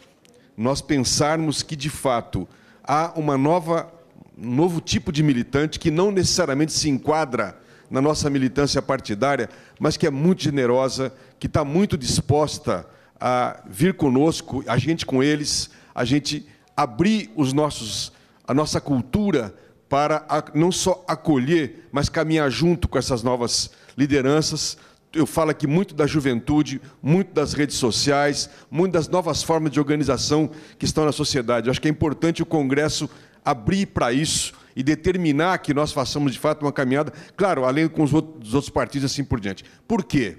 Porque nós temos que construir um centro de inteligência progressiva, progressista no país, assim como eles fizeram. Tem um negócio aí que ninguém conhece muito, chamado Instituto Millennium. O que é esse negócio? ele é uma coisa simples, financiada por grandes empresários. E o que, que tem quando você entra lá? Eles têm uma lista de fontes, ou seja, indicam aos jornais, às revistas, às rádios e televisões quem deve ser consultado. Vocês já ouviram na rádio, quando tem uma crise elétrica, vamos falar com um especialista tal? O espe... Quem são esses especialistas? É o pessoal da lista do milênio, ou seja, é o pensamento de direita sendo colocado. Mas mais do que isso, realizam treinamentos para os jornalistas, cursos, viagens, bolsas e assim por diante. E nós? O que, que nós temos? O que, que nós criamos nesse tempo para organizar uma ofensiva? Nós que temos tantos intelectuais, tanta gente da academia, tanta gente na cultura e tantos militantes também na imprensa, por que, que nós não podemos pensar numa ousadamente em termos nós também um centro que consiga produzir e reproduzir as políticas, as ideias, as propostas nossas. Então acho que nós temos que ousar abrir um pouco as janelas do nosso partido, abrir um pouco as janelas dos nossos horizontes para ampliar essa luta que agora é muito mais complexa do que era é, antigamente. Então, basicamente, é só isso que eu queria é, destacar, agradecendo mais uma vez essa bela oportunidade dessa noite de estar com vocês. Obrigado. Companheira Heloísa. Olha, eu queria agradecer muito mesmo. Eu achei muito bom. Eu, eu prefiro ouvir vocês. Né? É, e algumas coisas me impressionaram muito. Eu queria comentar, não vai, ah, concordo, acho que o Gilberto falou bem, vamos dar um tempo, vamos dar o tempo para o EME fechar, mas eu queria comentar duas coisas, pelo menos de todas as falas que eu ouvi e que certamente vão me transformar numa me ajudar a entender melhor o Brasil uma professora, eu espero melhor amanhã no meu curso. É, uma é, tem a ver com essa com essa questão que você levantou da corrupção, né?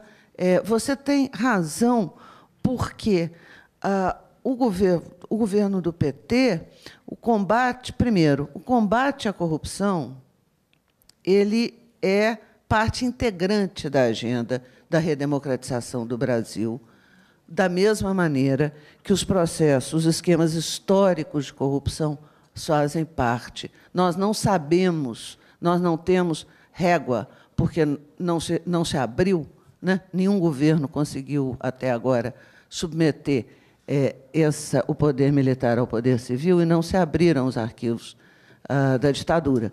Mas nós não sabemos como foi a corrupção lá, mas ela foi enorme.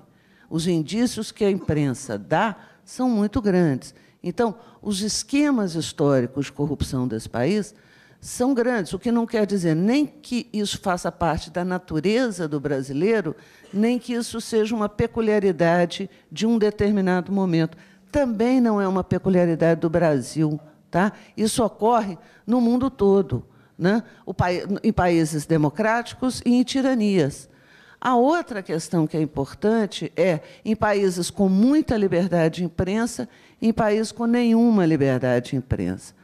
Um diferencial importante que ele levantou é o de que, então, se faz parte da agenda de redemocratização do Brasil, os dois governos, do presidente Lula fizeram duas grandes contribuições ao combate à corrupção. Uma foi a expansão da CGU, que passou a ter uma concepção de controle público muito diferente da que era praticada até então.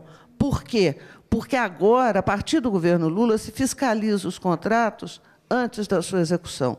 E a outra foi a implantação uh, de uma você me corrija, de uma nova concepção de operação da Polícia Federal. Né? Então, eu levantei os dados aqui. A partir de 2003, uh, isso significa que, a partir do governo Lula, que a Polícia Federal começa a fazer uma operação integrada com o Ministério Público e com a Receita Federal para a investigação. O dado é eloquente. A partir de 2003, o número de operações da Polícia Federal passou de 15 para 288. E em dois, 288 em 2009. E ela totaliza mais de mil no período Lula. Né? Então, há uma contribuição efetiva é, de políticas públicas. Ao mesmo tempo, né, é preciso, portanto, se, se, se nós conseguirmos nos imaginar na brecha do tempo que eu sugeri, no nosso intervalo do tempo, nós precisamos dar um passo à frente na questão do combate à corrupção. E é por isso que eu insisti que não basta, tudo é preciso dar um passo adiante. Né? É preciso mostrar o que foi feito, entender que esses esquemas históricos de corrupção estão sendo reatualizados no Brasil e, e a partir daí, avançarmos com uma, com uma proposta ou com uma, uma, uma perspectiva ou com um ponto de partida que tem a ver com o que nós estávamos conversando no início da minha fala, que é como é que é que o PT vai se pensar diante da República? Quais são os valores de mundo público que o PT vai mobilizar para dar um passo adiante e mostrar no combate à corrupção chegamos até aqui. O PT agiu para combater a corrupção dessa forma e os valores que o PT vai mobilizar são estes, né? notadamente o bem público. E a outra coisa, eu não vou ter tempo, mas me, me impressionou muito a fala da universidade, porque na Universidade Federal de Minas Gerais é visível que a, a, a política do PT mudou a face da sala de aula. Né? Os alunos, né, inclusive no, no, curso mais elitista da universidade, que era medicina, não houve nenhuma queda de qualidade, muito pelo contrário. Né? E aí eu fiquei muito pensando muito, sabe? Eu estou em São Paulo, nós estamos vivendo um momento de intervalo no tempo. É possível que a gente esteja vivendo aí uma angústia e uma esperança. E aí eu lembrei de um poeta que morreu quando tinha 24 anos, mas ele se fez aqui em São Paulo, né? um poeta, talvez o símbolo da liberdade, dos poetas libertários do Brasil, né? que se fez aqui em São Paulo, que ia para a torrinha do teatro, né? e é, chamava as pessoas a defender a liberdade. Defender a liberdade naquele momento significava também defender a abolição da escravidão numa sociedade escravista, que é Castro Alves. E eu lembro para vocês, então, isso. Vão, vão, estamos em pleno mar.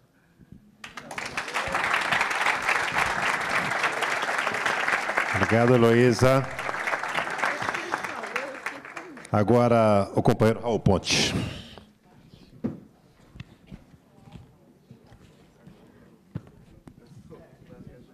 Tratar dois, dois temas aí que surgiram como repto aqui para a mesa, na volta.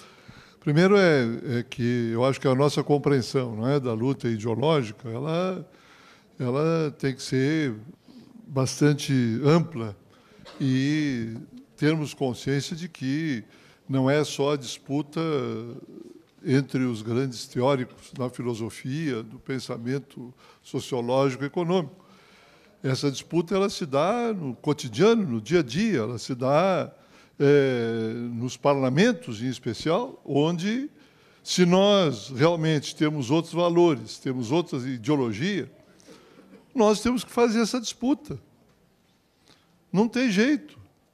Não tem como a gente dizer que nascemos diferentes, que viemos para fazer diferente, e quando se está no poder ou nas instituições parlamentares, a gente vai se acostumando com todo o processo de cooptação que ali está sendo praticado pelo Estado capitalista, e a gente concorda com as vantagens, com os privilégios, com as aposentadorias especiais, com os recursos de gabinete, e vai fazendo disso um volume de recursos que é a antessala da corrupção que é assim que o Estado burguês funciona desde que nasceu nesse país.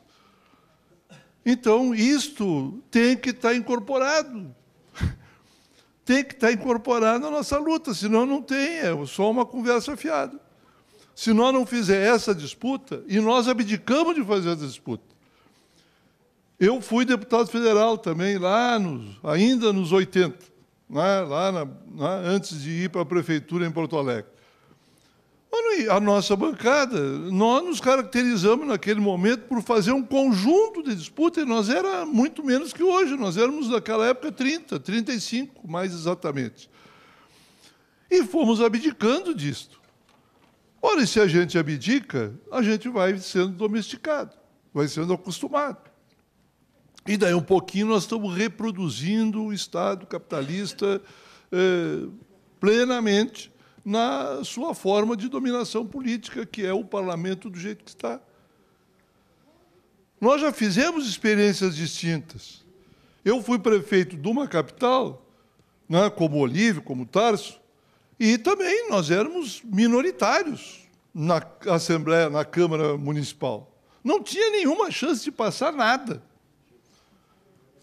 Agora, uh, se buscou alternativas, olha, uh, se o problema é de legitimidade, é de sustentação política, e ali não sai nada, vamos colocar, então, o nosso trabalho na direção eh, do movimento social. Vamos trazer o movimento social para dentro do governo. Foi assim e por isso que nasceu o orçamento participativo. Foi assim que nasceu o fortalecimento dos conselhos. Foi assim que se acabou com a ideia dos conselhos municipais serem conselhos do prefeito. Não, passaram a ser conselhos onde a comunidade tinha maioria. Sempre. Sempre tinha maioria. Nós éramos minoria nos conselhos, exatamente para fazer com que eles fossem um papel de cobrança, de crítica, de disputa permanente mas era uma disputa que interessava do ponto de vista da formação política eh, da população, da sua tomada de consciência. Então, essa disputa ela é feita desse jeito. E ela é feita também no plano acadêmico, no plano teórico. Aqui foi dito que está eh, sendo eh, é, estigmatizado ou barrado o debate da teoria econômica. De novo, nós não, já não vivemos o pensamento único aí quanto tempo? que era um, um repeteco de tudo que era meio de comunicação, que era assim, porque era assim, porque era um pensamento único, tinha que ser assim. E nós vamos aceitar isso. É nessa visão que eu falei, e repito, né, que eu acho que o partido não pode aceitar com tanta facilidade de que a gente mude a política econômica do nosso governo, do governo que nós elegemos, que nós fizemos força para eleger e vamos fazer força para manter, que esse governo né, pratique uma política que é o do pensamento único, que é o do ajuste fiscal, que é o da estabilidade. Ora, quer dizer, nós já provamos, quando governamos, que essa história do déficit zero, do choque de gestão, essa é uma conversa fiada. Não tem jeito, pessoal. Alguém pode acreditar que qualquer política de ajuste, que qualquer política eh, praticada de eh, austeridade, vai significar mais recurso para o orçamento poder estimular, emular a economia ou serviços para a população? Não. Não, não, não, não. É, isto já é conhecido, já é dominar, não estamos inventando a roda. Essas coisas já se sabe que é assim. Nós já enfrentamos o déficit zero, o choque de gestão da IEDA lá no Rio Grande do Sul, e desmoralizamos e desmascaramos isso, mostrando que era uma. Quer dizer, era uma barbada. É que nem. Uh, amanhã parece que o Pimentel vai estar aí. Era mesmo que nem o AS em Minas. Ah, choque de gestão, déficit zero. Claro, tu, tu tira né, uh, não cumpre nem os mínimos constitucionais em saúde, educação e assistência social, e aí tu traz a contabilidade zerada. Pô, assim é uma barbada. Só que quem paga o preço sempre é quem é o povo, o trabalhador, que não tem escola, não tem educação, não tem saúde. Para garantir os 12% em saúde como nós garantimos, Aí vai dar déficit na contabilidade. Ah, vai dar déficit na contabilidade. Mas os hospitais filantrópicos, municipais, o que for, tinham mais dinheiro. E melhorou sensivelmente a, a, o serviço de saúde. E nós vamos discutir depois como é que vamos resolver o déficit na contabilidade. Não vamos entrar na cantilena de cá, ah, não, tem que ter superávit primário. Mas quem é que inventou a tese do superávit primário, pelo amor de Deus? Nós já não conhecemos a tese no tempo do Delfim Neto de que tinha que primeiro crescer o bolo para depois dividir? Essas teses são completamente frias, são, não, não se sustentam, não tem base, não tem sustentação teórica nenhuma, pessoal. É, é pura ideologia.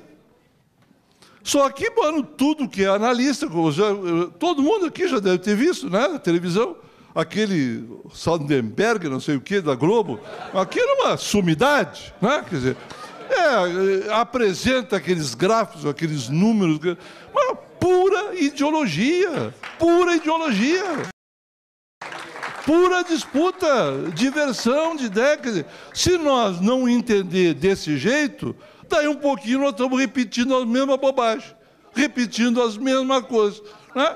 Então, eu acho que nós temos que nos recusar a aceitar essa lógica de que nós vamos pensar pela cabeça dos neoliberais.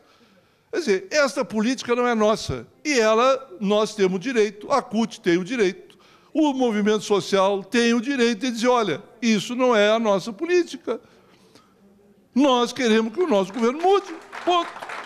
É isso. É? Se nós interditar esse debate, nós, nós não temos razão de existir. Nós não temos. Nós nascemos. Uma das coisas que esse partido, e eu fiz questão de dizer quando a gente nasceu, nós éramos diferentes, porque nós rompemos com um conjunto de critérios que eram consolidados na esquerda tradicional. Ou não eram? Quer dizer, o que, que eram os partidos comunistas que existiam? O que, que era a visão né, é, é, sobre a relação do partido com o Estado e essas coisas? Nós não rompemos com isso. Nós não brigamos para construir um partido profundamente democrático, em que o partido é o partido, o governo é o governo, o Estado é outra coisa, e papapá. Não é?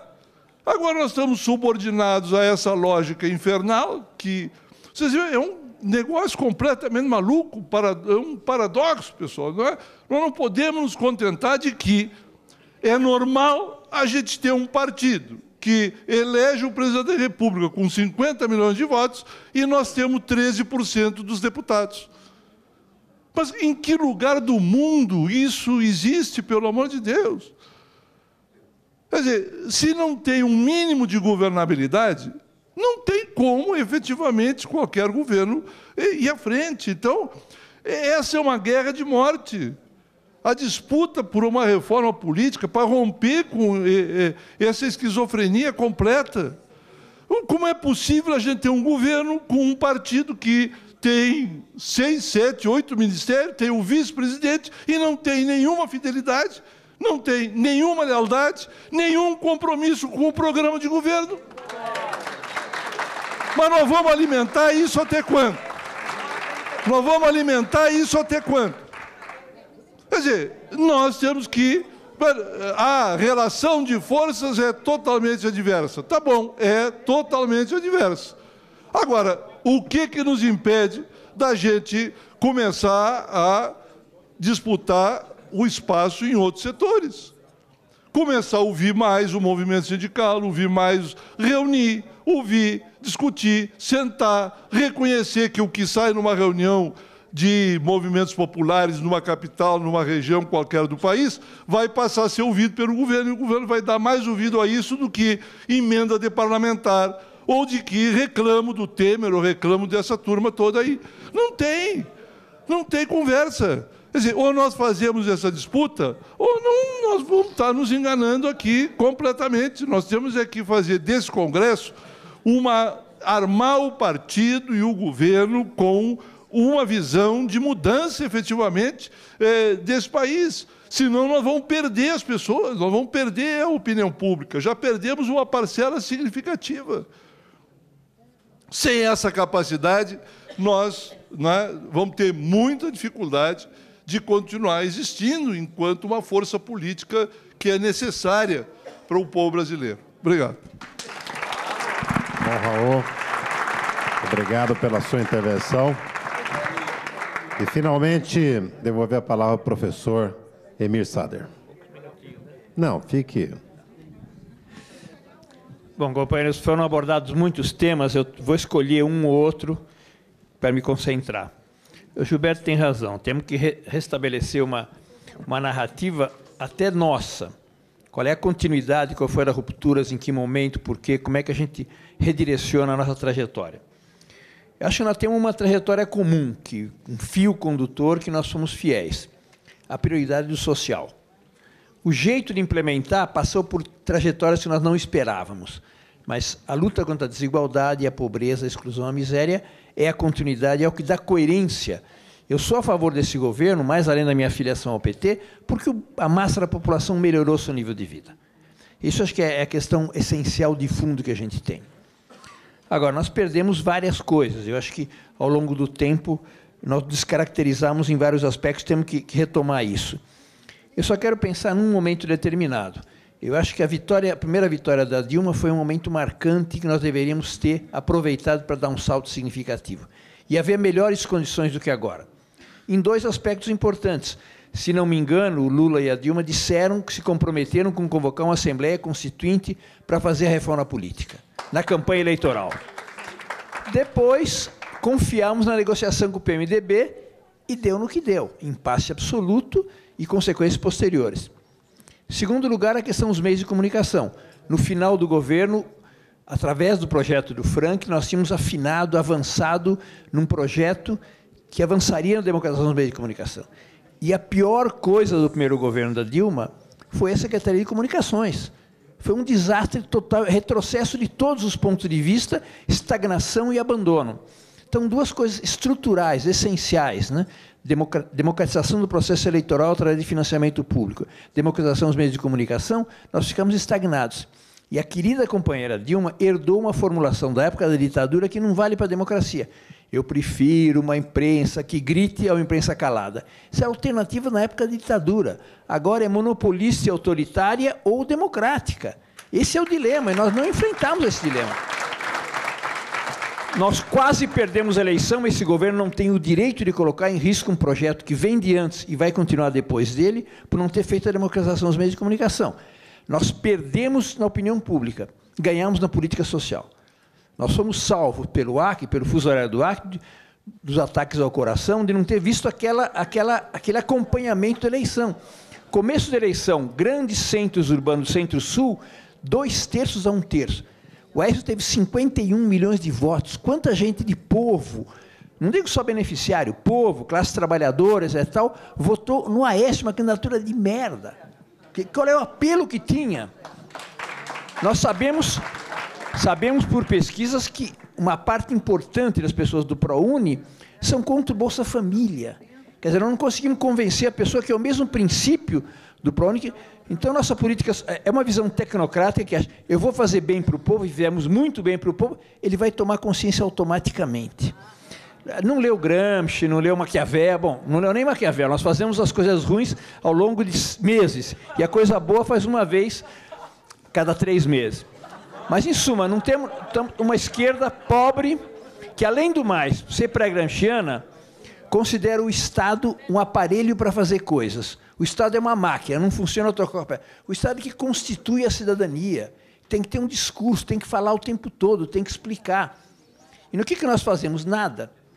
Não tem nenhum problema de estar na TV Brasil, reivindicar a TV Brasil. Não estou reivindicando emprego nem nada. A TV Brasil só tem corte. Agora não vão passar nada no Congresso. Democratizar é democratizar as verbas, democratizar a imprensa alternativa. E temos uma estrutura nacional, EBC e TV Brasil, que só é massacrada. A Dilma tem que falar toda semana por uma rede pública, quem quiser retransmite, prestando contas. O povo não pode saber o que ela acha pelo que a imprensa diz que ela acha, ou escondendo o que ela não diz. Que ela disse não quer. Vai chegar, não pode. É obrigação de um governante. Não é quando ela acha que não dá mais que vai falar e faz uma cadeia, uma dificuldade. Ela tem que falar toda semana. Ela foi eleita, tem que prestar conta. Agora, se é verdade a pesquisa da Datafolha, tem muita dúvida, setores populares, até do Nordeste, estão duvidando da nossa política. E o que, que, se faz? Não se fala, não se explica o tempo todo. Esse governo não tem o direito de ser massacrado, porque vai colocar em risco um projeto que veio de antes, vai continuar, foi construído pelo Lula, pelo PT, pelas forças populares. Nós não podemos correr esse risco. Não é questão de opinião pessoal de um lado ou de outro. Governabilidade é um problema real. Se alguém achava que era um pretexto para fazer aliança, olha a ingovernabilidade o que, que dá. Estamos chalerando o PMDB? Estamos, porque nós temos que disputar o PMDB. Nós fomos incapazes de construir um Congresso mais progressista. Menos estamos longe de ter maioria de esquerda. Dolorosamente nós temos que ganhar o PMDB, senão o PSDB ganha o PMDB. É duro, é duro, mas é a realidade da governabilidade imediata, sem a qual o Lula teria caído até em 2005. Então, esse problema existe. Agora, nós herdamos não apenas a desestruturação do Estado, da economia, mas herdamos um movimento popular em retrocesso. É preciso lembrar que o Lula tinha 30 e poucos por cento de votos. Lula nunca foi primeiro lugar, até que o Serra desestruturou a candidatura do Ciro Gomes, e o decisivo foi saber quem ganhava os votos do Ciro Gomes. E como é que nós ganhamos? Com a carta aos brasileiros de Lulinha, paz e amor. Dolorosamente. Aí nós demos salto daquele 30 e pouco para ganhar. Então nós incorporamos um eleitorado conservador, etc. Tal, foi o que viabilizou. Aí tivemos um governo conservador, etc. Tal, mas temos que fazer a reconstrução em parte disso, não para justificar tudo que foi feito, mas, sobretudo, mais adiante, não ter dado salto. Aquela, a, a vitória da Dilma foi extraordinária, que já não era mais o Lula, era uma candidata, um poste, etc. Tal. O Lula levou aquilo nas costas, no bom sentido da palavra, uma campanha extraordinária, aquela parte final, etc. Tal, tinha que ter aproveitado aquela derrota da direita.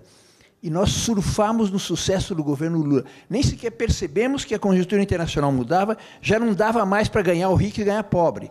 Aí ia ter menos recursos, ia ter que repartir. E fizemos um governo muito ruim aumentamos as políticas sociais, mesmo sem ter crescimento econômico. Deu uma desestruturação das finanças públicas. Algum tipo de, de ajuda tem que ter. Mas foi um governo ideologicamente ruim. Não falou ao povo, não avançamos politicamente. E aí foi um retrocesso que nós estamos pagando o preço hoje. Agora, nada justifica que a vitória fosse tão estreita. Quer dizer, nós perdemos, perdemos a opinião pública. Quer dizer, povo votou contra nós, o povo beneficiário das políticas votou contra nós. Aonde, aonde os meios de comunicação chegaram menos, porque a política social foi transformação inquestionável, no Nordeste nós ganhamos, de longe. Agora, onde tinha formação da opinião pública, nós perdemos. E não fizemos nada desde então. Temos ótimos companheiros hoje a cargo da política de comunicações. Agora, não, não há expressão ainda da vontade política da Presidente da República de dar um giro na política de comunicações. Ao contrário, tem política de apaziguamento aqui, ali, acolá, e tal. E se nós não virarmos isso, nem o debate sobre financiamento público vai para frente. Você sabe qual é o argumento deles. Vocês querem que o seu imposto seja feito para financiar político corrupto e vagabundo? Se eles massacrarem com isso, nem isso passaria num debate eventualmente público. Acho que um tema importante, acho que um, a, a, luta pela, contra a terceirização está tendo um significado muito grande. A identidade no mundo do trabalho quase que desapareceu. Você pergunta o que a pessoa é, eu sou corintiano, eu sou paulista, eu sou não sei o que lá, a identidade, eu sou trabalhador, fizeram invisibilização disso na mídia. Né? O trabalhador não está nem na novela das oito. Se tem um trabalhador, é marido da empregada, mas não protagoniza nada. Ninguém trabalha, ninguém trabalha. Agora, com a terceirização, uma quantidade de gente percebeu pelo seu olerite, como se fala aqui, pelo seu contra-cheque, que ele ia dançar. Então, reavivou a ideia da identidade do trabalho. E a CUT e a Centrais Cidades fizeram um trabalho muito importante. Nós estamos revertendo, demonstra como a gente pode reverter. Quando o Renan fala no Senado não passa, quando o PSDB retrocede, mostra que mesmo com o Congresso reacionário, com mobilização popular, os caras sentem o baque. Porque a, a, a derrota que nós tivemos, a derrota na Câmara foi vergonhosa. Esse projeto indecoroso de terceirização, só fomos contra PT, PCdoB e PSOL. Não ganhamos mais ninguém. De repente, nós estamos dando uma virada com mobilização popular, quer dizer, dá. E, além do mais, com essa frase do Lula, que é extraordinária, é uma questão de honra para a classe trabalhadora derrotar isso. E é uma questão de honra, nós estamos tendo uma virada muito importante nisso. Quando as contradições começam a jogar no campo do inimigo, eles começam a fraquejar, eles percebem que as suas bases também, e vão ficar com a pecha de ter terceirizado, com aquilo que a gente conseguiu socializar. Ganha menos, trabalha mais, e oito de cada dez acidentes de trabalho tem a ver com terceirização. Isso é muito importante. Retoma a coisa de classe, a coisa de identidade do trabalho, que é uma das coisas que ficaram muito invisibilizadas. Eu acho que a gente, quando nós ganhamos, nós, o PT optou corretamente por resgatar a miséria do Brasil. Agora, isso não é uma coisa heróica. Não é uma coisa que, para a juventude, que esteve pelo outro mundo possível, fale muito alto. Não é uma coisa utópica, é uma coisa de vergonha dos governos anteriores do Brasil, não ter atendido a massa da população. Então, nós perdemos. Agora, o grave é esse governo não ter política para a juventude. Não quero subestimar nossos companheiros de dirigentes políticos. Todos os temas fundamentais da juventude, ou o governo não leva em conta, ou é contra. Quer dizer, de tal maneira que recebemos a fubecada de junho de 2013. Nós não temos um trabalho, um, um, um, apoio forte dos intelectuais e dos jovens. Os jovens são fundamentais. Os intelectuais não são fundamentais. Fundamental é a reflexão teórica. A militância pode fazer ou trazer intelectuais para ajudar. Porque a gente perde a perspectiva de reflexão de médio e longo prazo. Agora, é também muito ruim que a intelectualidade tenha um refluxo enorme, com transformações positivas no Brasil. Se estivesse regredindo, não, vamos ajudar a pensar e ajudar a superar isso e é uma participação relativamente, relativamente pequena. É, acho que nós temos dois retrocessos graves que, que vai ser difícil e longo resgatar. A reversão da imagem do PT e a reversão da imagem da Petrobras. Dois gols estratégicos deles enormes. Né? O PT é o Partido dos Trabalhadores e tal. E a Petrobras, a grande empresa estatal, que é um sucesso extraordinário. Não sei se alguém falou aqui, acho que eu não entendi bem. Não está falida coisíssima nenhuma. Economicamente vai muito bem, obrigado. Agora, nós não fomos capazes, não fomos capazes de brecar os, as negociatas que se faziam ali paralelamente. Mas, em suma, reverter a imagem da Petrobras é, um, é uma derrota, é um retrocesso descomunal. Falava em Petrobras, era gol nosso, pelo sucesso, pelo pré-sal, por isso e por aquilo. Agora, caras na rua falam, ah, está roubando que nem na Petrobras. Pô, dói no coração. Como falar que o petista rouba? Dói no coração falar que a Petrobras é uma empresa corrupta, né? Nem os que dirigiram ganharam nada, mas são coisas nós temos que pensar a médio e longo prazo. Sobre a questão dos momentos sociais, o Partido Comunista Italiano tinha um, um esquema, que era ter uma lista de candidatos independentes dentro do partido. O cara não precisava entrar para o partido, mas podia ser candidato. O cara não tinha ideologia exatamente, não, tinha, não obedecia exatamente à disciplina, mas abrir uma quantidade de vagas de candidaturas, porque não vamos mudar o Congresso com as candidaturas atuais, mesmo com financiamento público. O movimento popular tem que ter as suas bancadas. Cadê? Lá tem, tem o lobby da, da educação privada. Cadê a bancada da educação pública? Cadê a bancada da saúde pública? Cadê a bancada dos metalúrgicos, dos bancários, etc. Olha, a via é essa. A via insurrecional não é viável. Temos democracia do Estado por dentro, mas a nossa força fundamental é o arraigo no movimento popular. o que acontece? Acaba essas bases desses setores votando em qualquer candidato, porque não tem os seus candidatos. Nós temos um lobby de, de agronegócio daquele tamanho. Acho que tem três representantes trabalhadores rurais. Nós temos que, só vamos mudar o Congresso se a gente tiver eleições não apenas de membros do, do PT como tal. Pode entrar o PT ou não, mas tem que ser do movimento social com candidaturas próprias, independentes, etc. Com... Eu acho que é isso que, que dá. A ideia de voltar às origens, né?